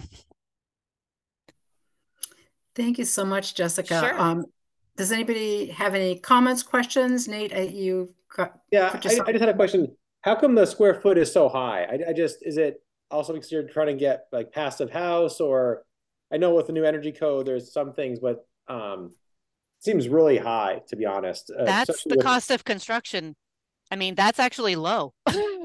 I, yeah, we have some builds that are coming in at six hundred dollars a square foot. So you know it, it, that is the cost of construction these days, and we are not really building anything super fancy. Yes, we have all electric utilities, but this is a pretty straightforward build. But this is the cost of construction. This is what it costs. So, yeah, I, I, mean, the building commissioner does, you know, will has projects, and we've talked about it. But you know, I, I was just look, doing some math on a, a, spec home right now, and it's like three fifteen a square foot. And so, I don't know. I just is it, you know, does is this also factor in like the site work? I just, I'm. It's yes. just, it, yes. Yeah. It's everything. Yeah, it's just it is. I know it's just really expensive, and so it's hard to say that you know the cost of a twelve hundred square foot home is half a million dollars. Is that that's just that's the cost yeah. of construction. I mean, and, and if you remember, we had initially kind of come in here thinking we wanted to do some market rate homes in addition to affordable and found that the cost of construction was higher than what the market could support to sell them. So that's why we pivoted and moved to a, a full 100% affordable model. That was not how we started, but that's how the numbers were running. So. All right. Thanks. Sure. Thank you. yeah. Yeah. Anything else from anybody? No? Okay. Well, thank you so very much and congratulations. Sure. Yes. And congratulations to us as well because it's our yes. community getting this. And so thank you for all of your support and all of the letters of support that you wrote and submitted during the permitting process. We did not have one negative letter against the project. We mm-hmm. had only I think we had 18 letters of support. So, um, you know, so that's just awesome. It's really exciting when when that happens, and and we owe a lot to the trust for your support during this process. So, you're and great allies. Yeah, you should also take credit for the amount of groundwork that you've done in the community. Um, it was great to be at that district um, barbecue and see uh, the way you elicited people's input and putting out those little, you know, models. Um, oh, I know that was fun, wasn't it? yeah, yeah. The site tour, the site tour was phenomenal. So you really yep. are exemplary in terms of the outreach that you do. Thank you. Um, so thank you. Um, thank great you. partnering with you. Awesome. Thank you so much. Great. Thank you. All righty. All right, so we're going to move on to Wayfinders, um, Southeast Street and Belchertown Road, um, the state project eligibility determination. Um, they are now uh, in the public comment period. Um, I think the 30 days has already started. Um, Greg, I know you're just about to say something, but uh, I was just going to say one more thing, which is um, two things I'm going to say. One is uh, if you're looking to uh, put in your own comment, you certainly uh, can go on to the um, uh, Amherst Municipal Affordable Housing Trust webpage. And thank you, Greg, for putting it up there. And you can put in your own comment. Tonight, we would actually ask, uh, oh, before I move on, I see that Representative Domb has joined us. Um, and we're going to, we can put this aside for a second, and we're going to ask Representative Domb, who was kind enough to come here and join us. Um, we had asked uh, if she could give us um, some updates about what she thought were important uh, legislative bills coming up and how we could support uh, any of the legislation that she thinks is is really important for us to, to know about. So I'm going to stop there and move to item number six to allow her to come and speak because she's on a very, very tight timeline. Um, so move her into our panel.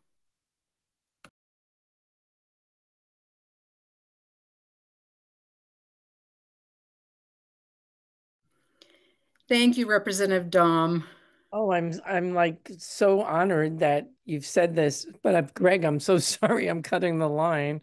Um, thank you for letting me do that. Erica, thank you so much for bringing me in. I've just been going from one place to another, and as you know, Grace Simmons on my team is here, and they'll be able to sort of fill you in. I think there were specific bills that you wanted to know about that Grace is prepared to also share brief comments on.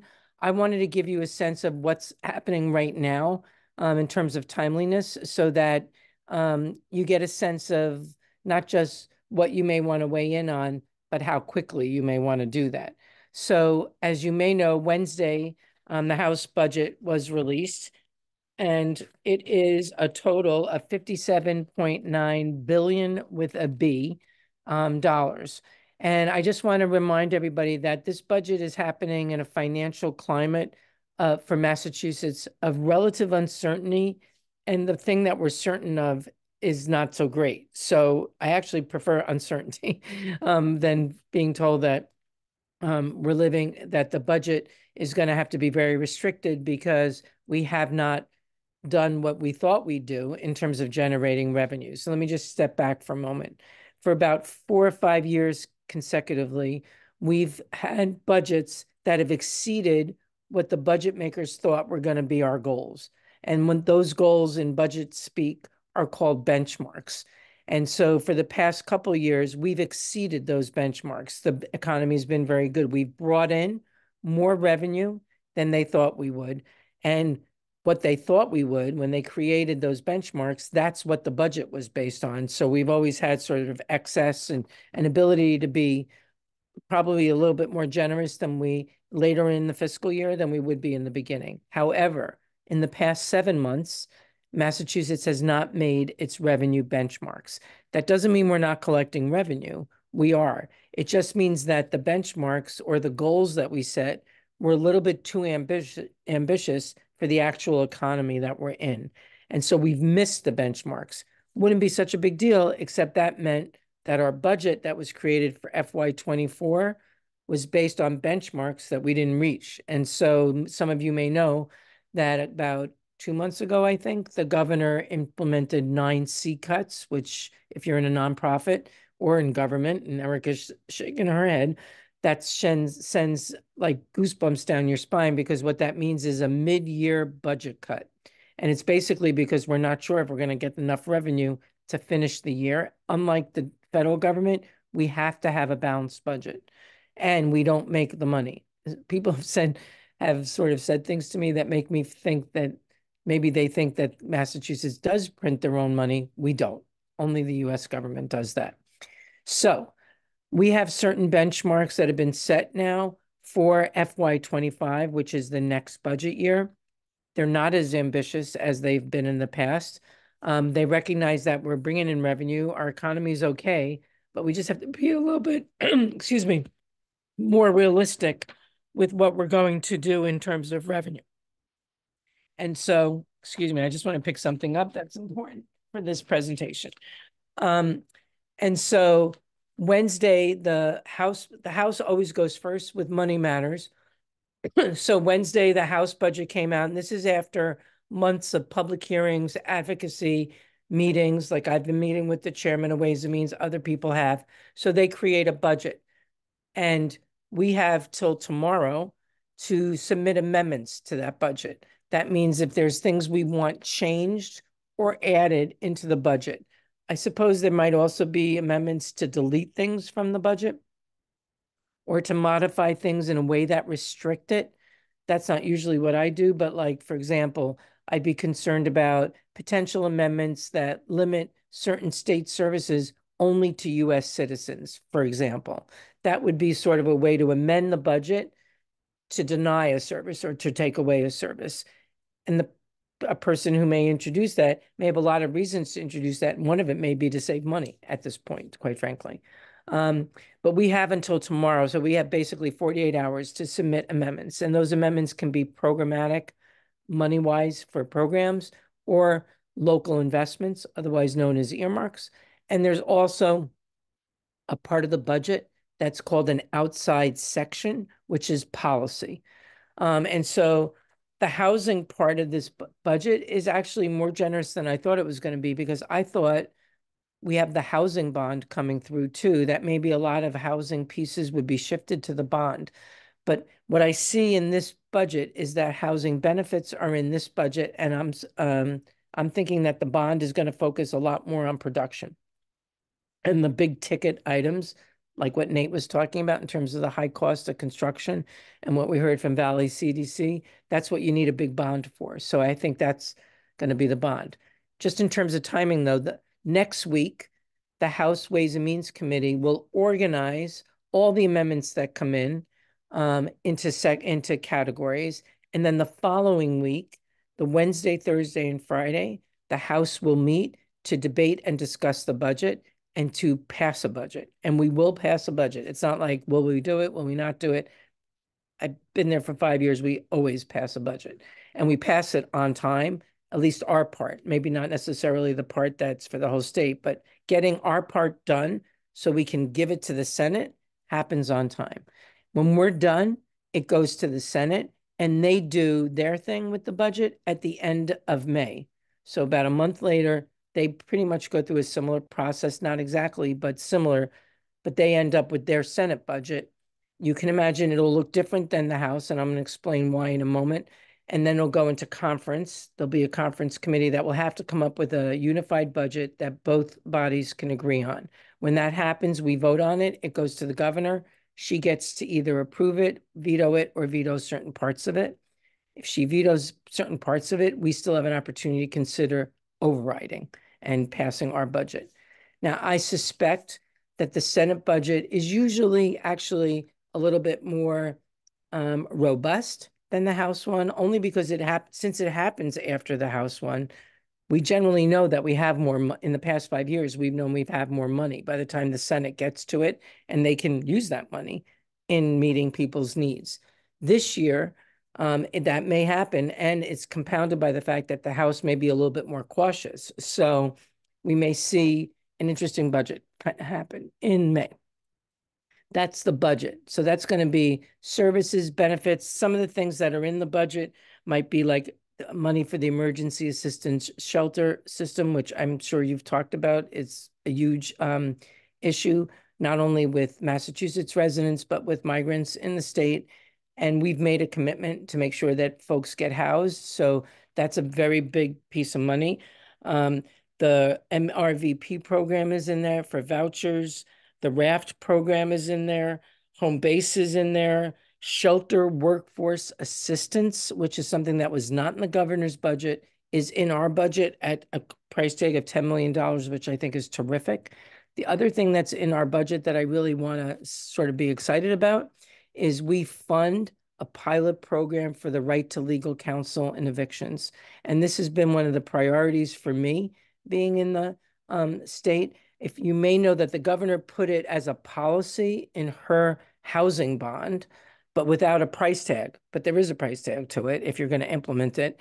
In the House budget, it's in there at about, I think, two and a half million dollars for a pilot program. Um, and so that's fantastic because we're going to learn from the pilot program that it has to be made permanent. I'm I'm pretty convinced. That's one piece. Then there's the housing bond that you've heard about. And what I've said is I think that's going to be about, about production and very um, likely that could come before the House of Representatives by in the middle of May sometime. I mean, it could be in June, but I'm hearing chatter that it may be in May, which makes some sense because since it's a money bill, it would come to the House first. And that would allow like the housing bond, then the Senate budget, and then the Senate deal with the housing bond. Um, and obviously, we want that to pass before the end of the fiscal year so that we can have it in place for the next. So that's to give you a sense of timing. And so if you're looking for support for amendments to the budget, you should let me know next week because it should happen before we actually have debate so that I can look at it, consider it. If I'm not already a co-sponsor of those amendments, become a co-sponsor or somehow indicate my support for them. If you're thinking about the bond, you've got some time. And so I kind of want you to relax about that. Um, it went through the housing committee and it's in the bonding committee. But whatever's happening in those committees, it's still in it's still in flux. It's still fluid. And the same people who would be putting the finishing touches on a housing bond have to deal with the budget first. So there's a little bit of breathing room in there. And I think I'll stop. I know that Grace is also on the phone.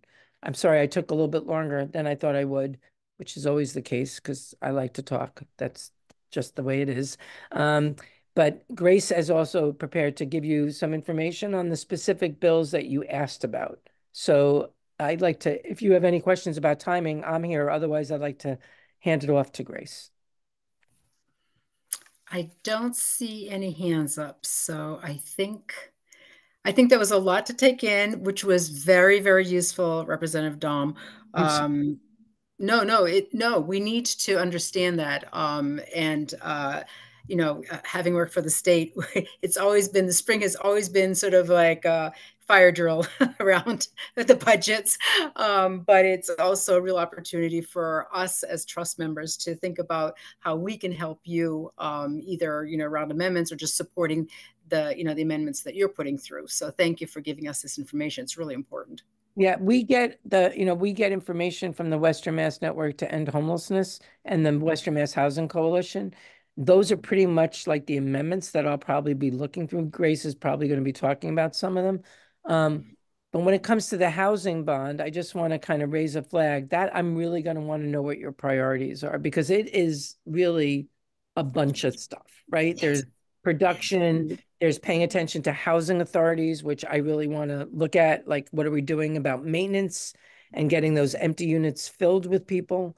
Um, there's renovation, there's decarbonization. So I think I really, I um, whatever we can do to also support you, to support me in identifying what your uh, priorities are, I would love, I would love to be engaged in that conversation.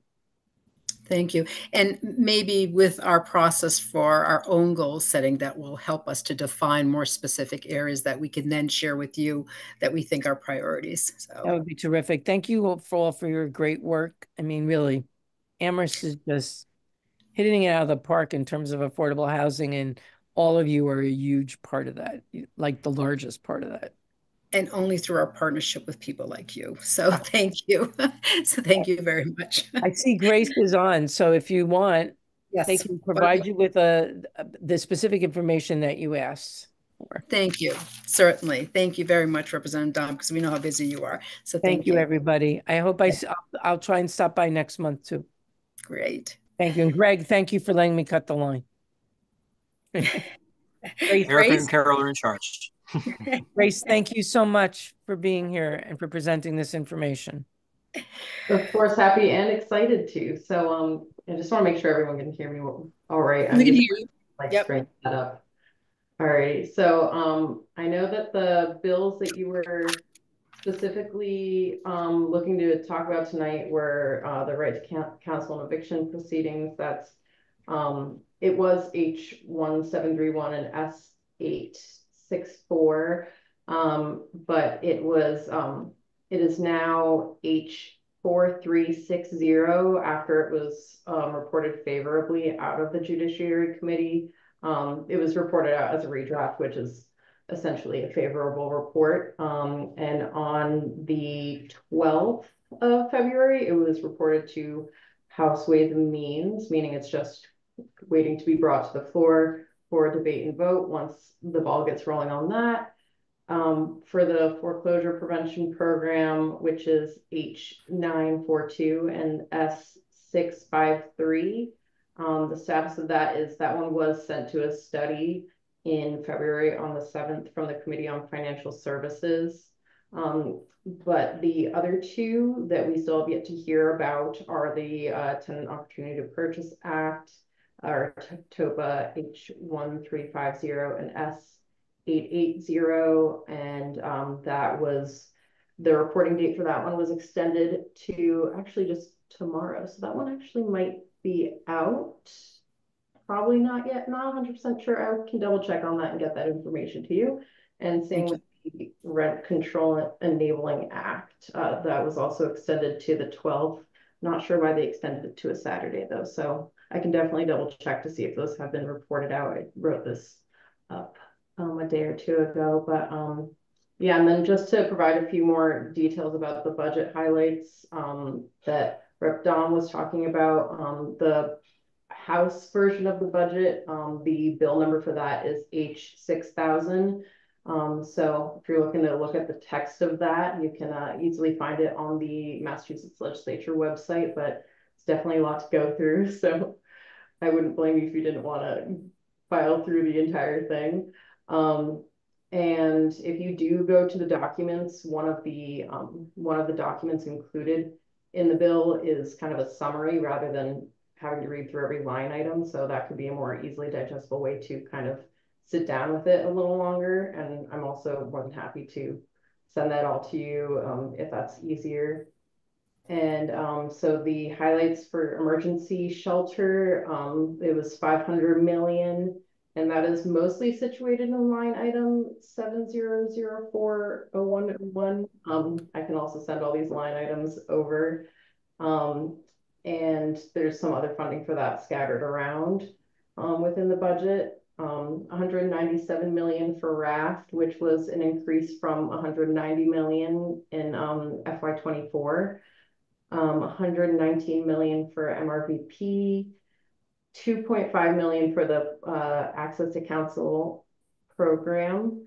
And yeah, as the rep said, the um, through tomorrow we'll be filing all the amendments and uh, going through all those. So if you have any follow-up questions about the budget, um, next week.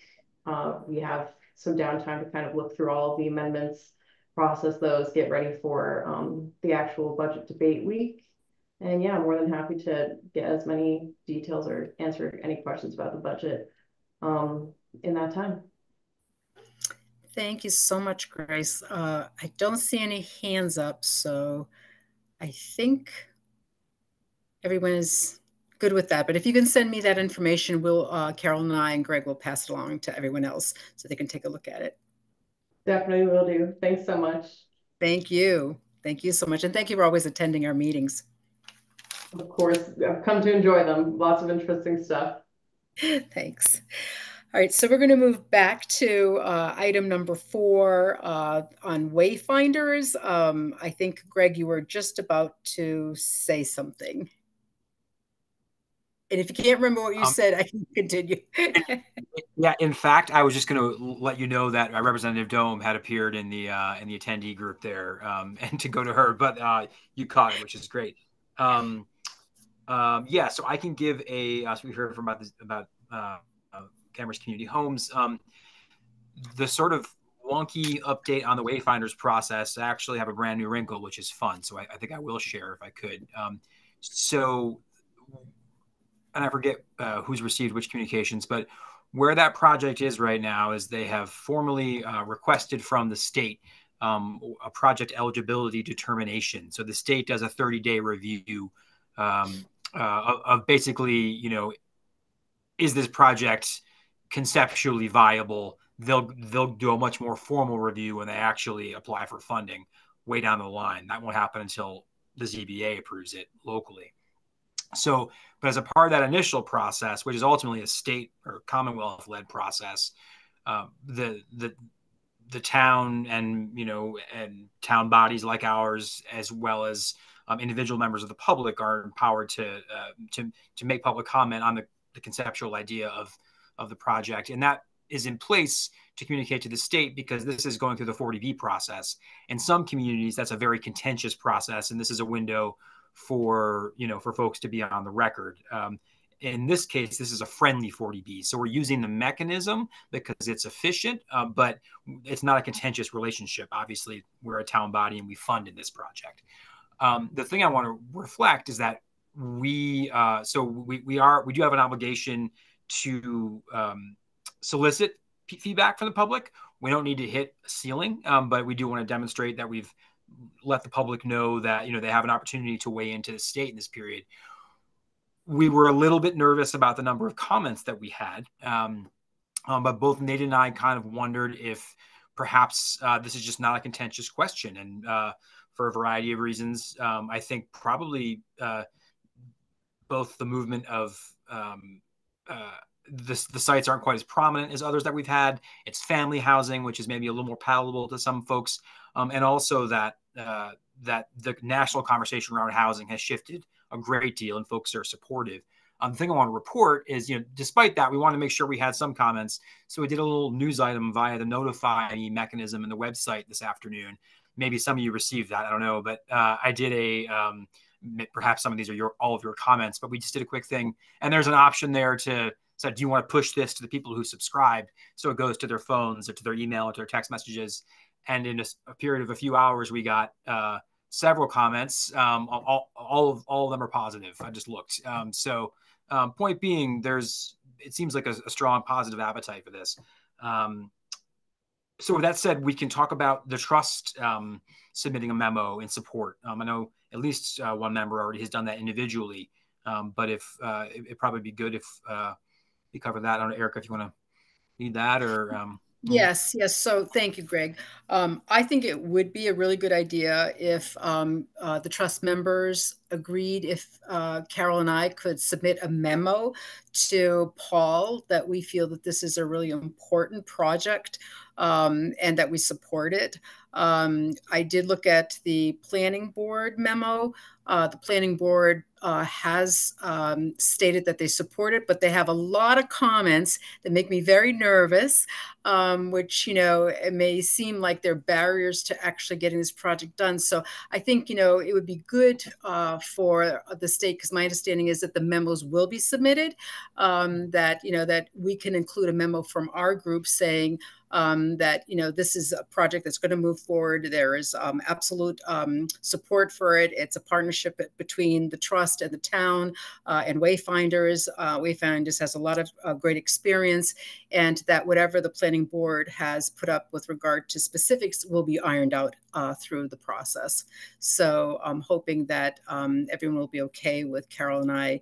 Uh, going through and submitting a memo to Paul uh, stating that or is there anybody who has any concerns about that? But maybe what I should do is let Allegra speak first, and then I'll ask again. Go ahead, Allegra.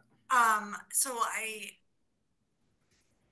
was raising my hand to make a motion in case we needed to be formal about it, but if we don't need to be formal, I don't need to make a motion. But um, I guess just to kind of talk for a second about what the planning board said, because basically one of their big concerns is the setback from the street, right? That they had placed the the housing is kind of in front and then the parking is i don't know behind or whatever which was actually the opposite of what the original plan i feel like had been like way way way way way way back and then there was conversation about well we want it to be not a shopping mall we want it to be a you know a, a village center but then yeah.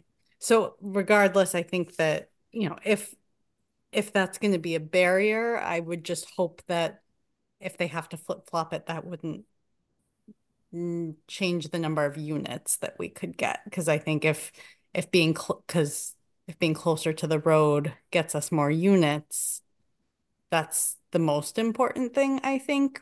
Um, although I do, again, I I preferred the original plan because I have small children. So if it's a family housing, I'd be worried about having like children that close to the road. That's a busy road. So there are some safety concerns that I just, you know, worry me a little bit, but I'm not the planning board. So, um, but do you want me to make a motion or, or are we good just being informal? Um, I think we're okay if we can agree. If there's anybody who disagrees uh, in uh, allowing um, Carol I to submit a letter, of, a memo of support to the town manager regarding the support of this project. Not seeing any, I think we can go ahead and move forward with doing that. Uh, and my understanding is, um, Allegra, what you raise are really important uh, concerns. But my understanding is, is that when the zoning board looks at this, this is when those particular specific issues actually come. Um, so it's interesting that, you know, it's great that the planning board is very concerned, but um, it would seem that it's sort of premature in them putting all of this. Uh, maybe they wanted to document it, but it just almost seems like there's so many concerns that would then make me feel concerned that the state's going to say, wow, there's lots of concerns here, um, versus that the zoning board will take this up and we can also make recommendations as well um, to the zoning board. Okay, I think unless I don't hear uh, that being negated by assume that is the case. So we'll go ahead and do that. Uh, and then we'll share with all of you what we've come up with uh, once we, we put it together and send it to Paul. Nate, Nate has his hand up. Oh, sorry, Nate, go ahead. Thank you. yeah, no, thanks. I was going to say what uh, Erica, you know, you had mentioned that the planning board, uh, you know, voiced support for it, and then they, you know, became a little more critical of the design and you know parking ratios and other things, and I think that's fine. Um, and they also said that could it be, you know, could each site have additional floor on the building and actually have more units and be denser, and so that may have been lost in their memo and Right. I think the state will be comfortable with it, but I think, you know, Greg and I had said it would be great to have a memo from the trust saying that, right, all those uh, comments or concerns could be addressed when it actually gets to the ZBA and that, you know, there is strong support for it from the trust. And, and, and you know, and uh, we could even say that the planning board supported the concept as well. So in this, this phase of the permit, this is kind of like a pre-permit review by the state.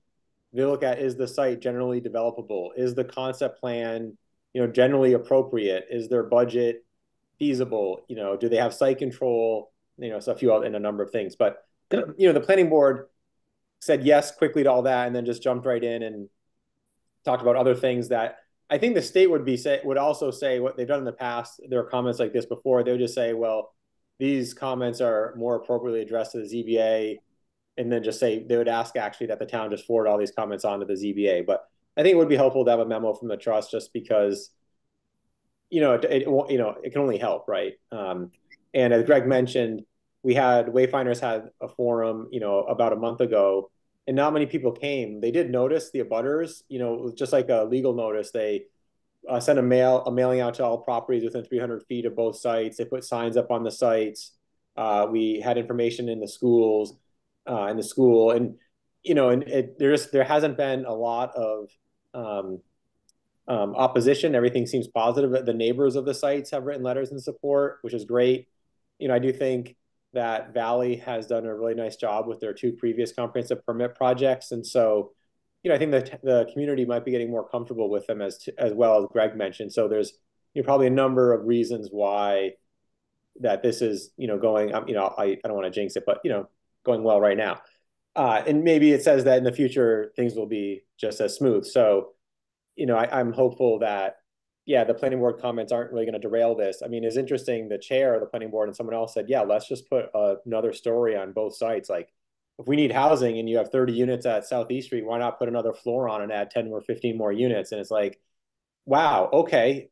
But at the same time, great. But, you know, I'm like, you know, so actually, I've met with Wayfinders twice since that meeting just last week, and we have another meeting tomorrow morning about it, trying to figure out how to address that and could they modify it a little bit. Um, so yeah, I mean, I think I, I actually think it'll be. I think it's worthwhile to be honest. I actually find that the design of Belchertown Road isn't the best.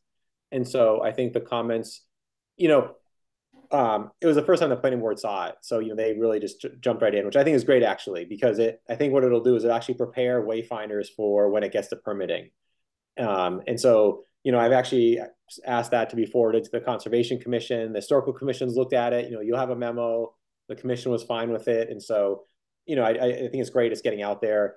And by the time it hopefully it comes to the ZBA, it's like all those things have been worked out. And really, it's just now it'll be, uh, you know, have to go through the permitting, but there will be no surprises. Thank you, Nate. And I'm also paying attention to the time. It's 8.59 and we still have one topic that uh, I believe is a little bit important. So I'm hoping that people can stay. Um, is there anybody who needs to leave exactly at nine? Okay, I'm not seeing any hands up. Okay, so we're going to Oh, Allegra, you are? Well, we still can. Uh, no, okay, you're mute, so I wasn't sure what you said. Okay, so I'm just going to ask um, Nate to. Could you briefly give us a, a, sense of the planning board's conversation of the overlay and what you think we as the trust could do to help this conversation? Yeah, I don't, I, don't know if trust members have seen some of the information or followed it, but you know, starting many months ago at the planning board, we talked about having an overlay on University Drive, the section between Amity Street and Route 9. So, you know, where, um, you know, just that stretch, you know, properties on both sides of the road. At first, maybe it would go south of Route 9, but really it's just those properties kind of where the old Rafters is and, you know, like Athena's Pizza and the post office and then the medical buildings across the street. And, um, you know, the idea was, could this be student housing? You know, I think I said something like 2,000 beds down there and really have a dense area following the university town gown report where you know there could be students close to university and not impact a lot of neighbors the planning board like the idea of having an, uh, an overlay and infill there and since then you know it's it's been modified they don't like the idea of having apartments they want um, most buildings to be mixed use they're worried about the loss of commercial retail space uh, they don't really want it to restrict it to students or you know or you know they want it to be open for everyone uh, and they're worried about density and some other things. You know, it's not that it's a it's not a bad thing that they have those concerns. At the same time, you know, when they were looking at 4555 South Pleasant Street just the other night, you know, there's 22 units.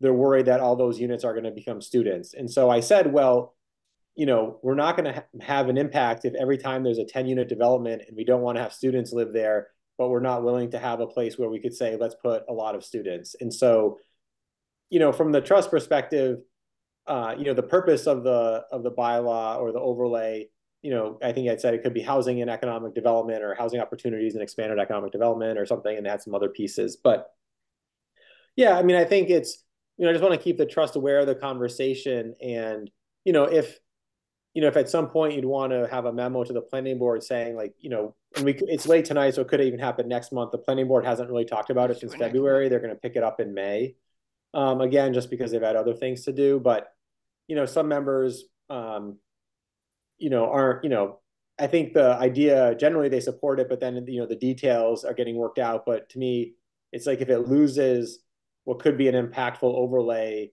you know, is it time to have the trust weigh in or have other opinions to help guide them? Because, you know, really, we do need like a, a big magnitude of housing to help balance some of the you know the pressures and demands and you know for instance with university drive or with the south pleasant street project they're saying well if it's 85% students or more let's require that they have you know a live-in manager and extra you know measures to keep the students safe and whatever. And and it's like well you know at, you know how do we measure that? And you know there's a big discussion about that. Um, but it's like okay we can't we can't be trying to address this on a project by project basis. I think that you know we have to almost step back and say okay if we think we need 3000 beds for students you know could you know amherst could the university could have the what are what are some mechanisms to do that and i think you know the university town gown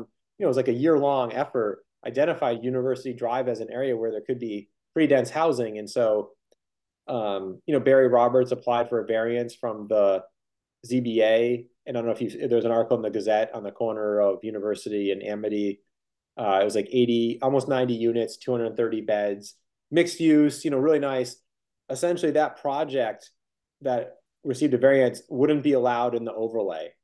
And so it's like, okay, so if the overlay is now not achieving what I don't know what I wanted, but maybe what would actually be impactful is it, you know, does the planning board need some outside perspective? And so that's where I, you know, I came, you know, that's kind of was kind of the discussion to the housing trust. It's late, but maybe we could pick it up next month and we could send more information uh, to you. I just, you know, and I get it. We want to be careful of the design, and I, you know, we don't want to zone out the possibility of non-residential space. Um, at the same time, we've had an, a research and development overlay there for a few decades, and it really hasn't been used. Uh, you know, the idea of an overlay is that all the existing zoning stays in place. I know it's another layer of zoning, but it's an optional one that you can use. You don't have to use it. But if, you know, it was allowed enough density or it was, you know, worthwhile, someone might. So like right now, um, you know, the way it's zoned, you get limited units on the property because of additional lot area and some other requirements. And so, you know, for instance, someone could come say like, oh, I'd like to redevelop where um, the Hampshire Bike Exchange is, and the zoning might allow 30 units.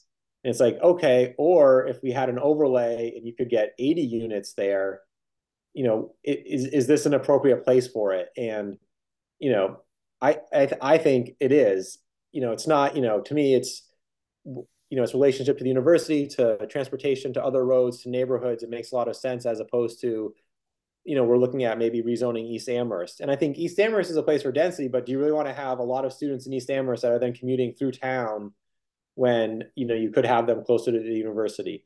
Anyways, it's just something I want the trust to be aware of. And, you know, the planning board is having this discussion as well, but it seems like they're kind of leaning toward, you know, only allowing mixed use buildings, no apartments, um, and you know some question about what's what's the kind of appropriate density. Um, Gaston, you have your hand up.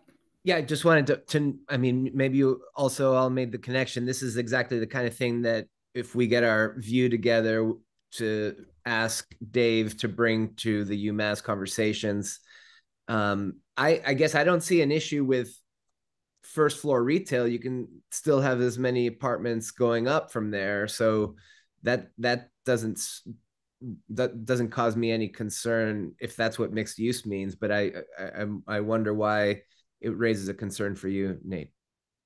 Yeah, I mean it's interesting. I and it doesn't. It doesn't. I think at one point they wanted hundred percent of the ground floor of every building, so all the ground floor cannot be residential, and you know, so what I see happening is one is that people build buildings and they, they, they just don't fill them because they're they don't need to.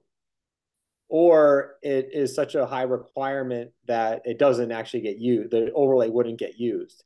And so i think their concern is that you know maybe the first few buildings the first floor wouldn't be occupied because there isn't the density there but eventually you're going to you might need or want that space.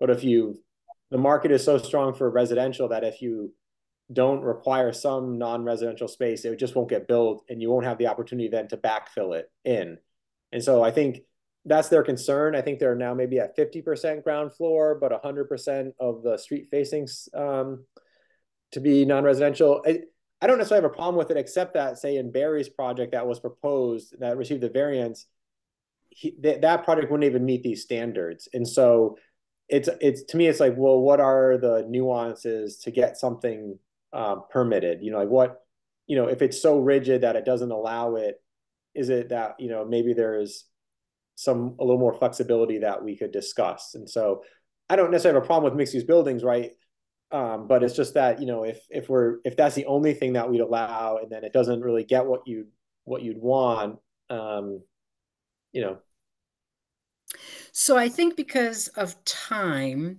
um, just from my perspective, what you guys, uh, you and Greg put together for us to think about payment in lieu was so uh, helpful in terms of pros and cons. Uh, and I'm not sure if you can do something like that with regards to exactly the overlay or not having an overlay. Mm-hmm. But it was so very helpful in terms of having a conversation to be able to think through what those pros and cons were. Uh, and since we don't have a lot of time right now, it might be useful for our May conversation. And I think this is really important. I mean, the thing that comes uh, in my mind is at the North Apartments, they do have mixed use, and they're still absolutely trying to get people, retailers in there. So, you know, um, the demand seems for more residential spaces versus retail, especially in a climate of where everyone's using, unfortunately, Amazon. Um, so I think you know that that is also something to consider when you think about this having mixed use or having a requirement for mixed use. When um, you know it's really such a challenge to get retailers to come in when you know people are using online versus walking into places but anyways i think the conversation is is really important um, so i think if you could possibly do that for us uh, for next time we'll put it on the agenda because i think it's really important for us to be involved in areas where we can reduce barriers or at least recommend to reduce barriers for development and it seems like some of these things are becoming barriers to development okay um, so since we're 909, um, uh, very quick, oh, go ahead. Who's that? I just want to say, I think what you just said is a really good idea, but maybe it won't happen at our next meeting because we already have so many things. And so maybe they could have a little more time and do it in June or something. That's my only suggestion.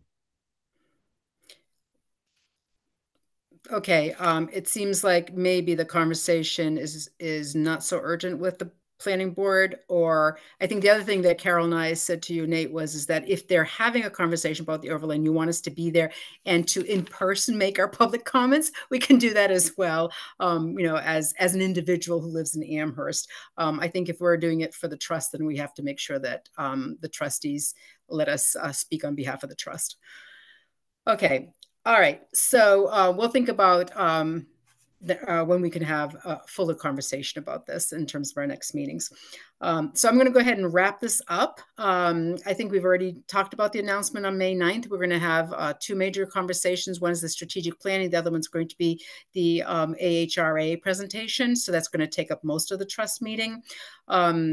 Uh, there's only one public person here. Thank you, Grace, for staying. And Grace has already submitted her comments, so I'm not going to open it up for public comments. Um, I don't think there, I'm not going to ask for any items not anticipated within 48 hours because we just don't have time. And I'm just going to state that our next full MHT meeting is on May 9th. Uh, and the Zoom link is always available through um, the town website. So unless there's anything burning, I'm going to go ahead and close the meeting. But Greg? Just let us know if you want to come next Wednesday to Boston or Quincy for Pother Bills. Thank you, thank you, thank you. And um, either come next Wednesday or also give us questions to bring with us if you cannot come. All right. Thank you so much. I'm sorry that we went over, but I think this was all, all these conversations were really important. Um, we will see you either at next Wednesday or next Thursday at our small group meeting or at the next trust meeting, which is May 9th. So thank you very much. Right. You're on mute. Saying, saying great job. Thank you. Thanks. Good night. And I'm sorry we kept right. you over. No, it's All okay. Right. Okay. All right. Bye. See you soon.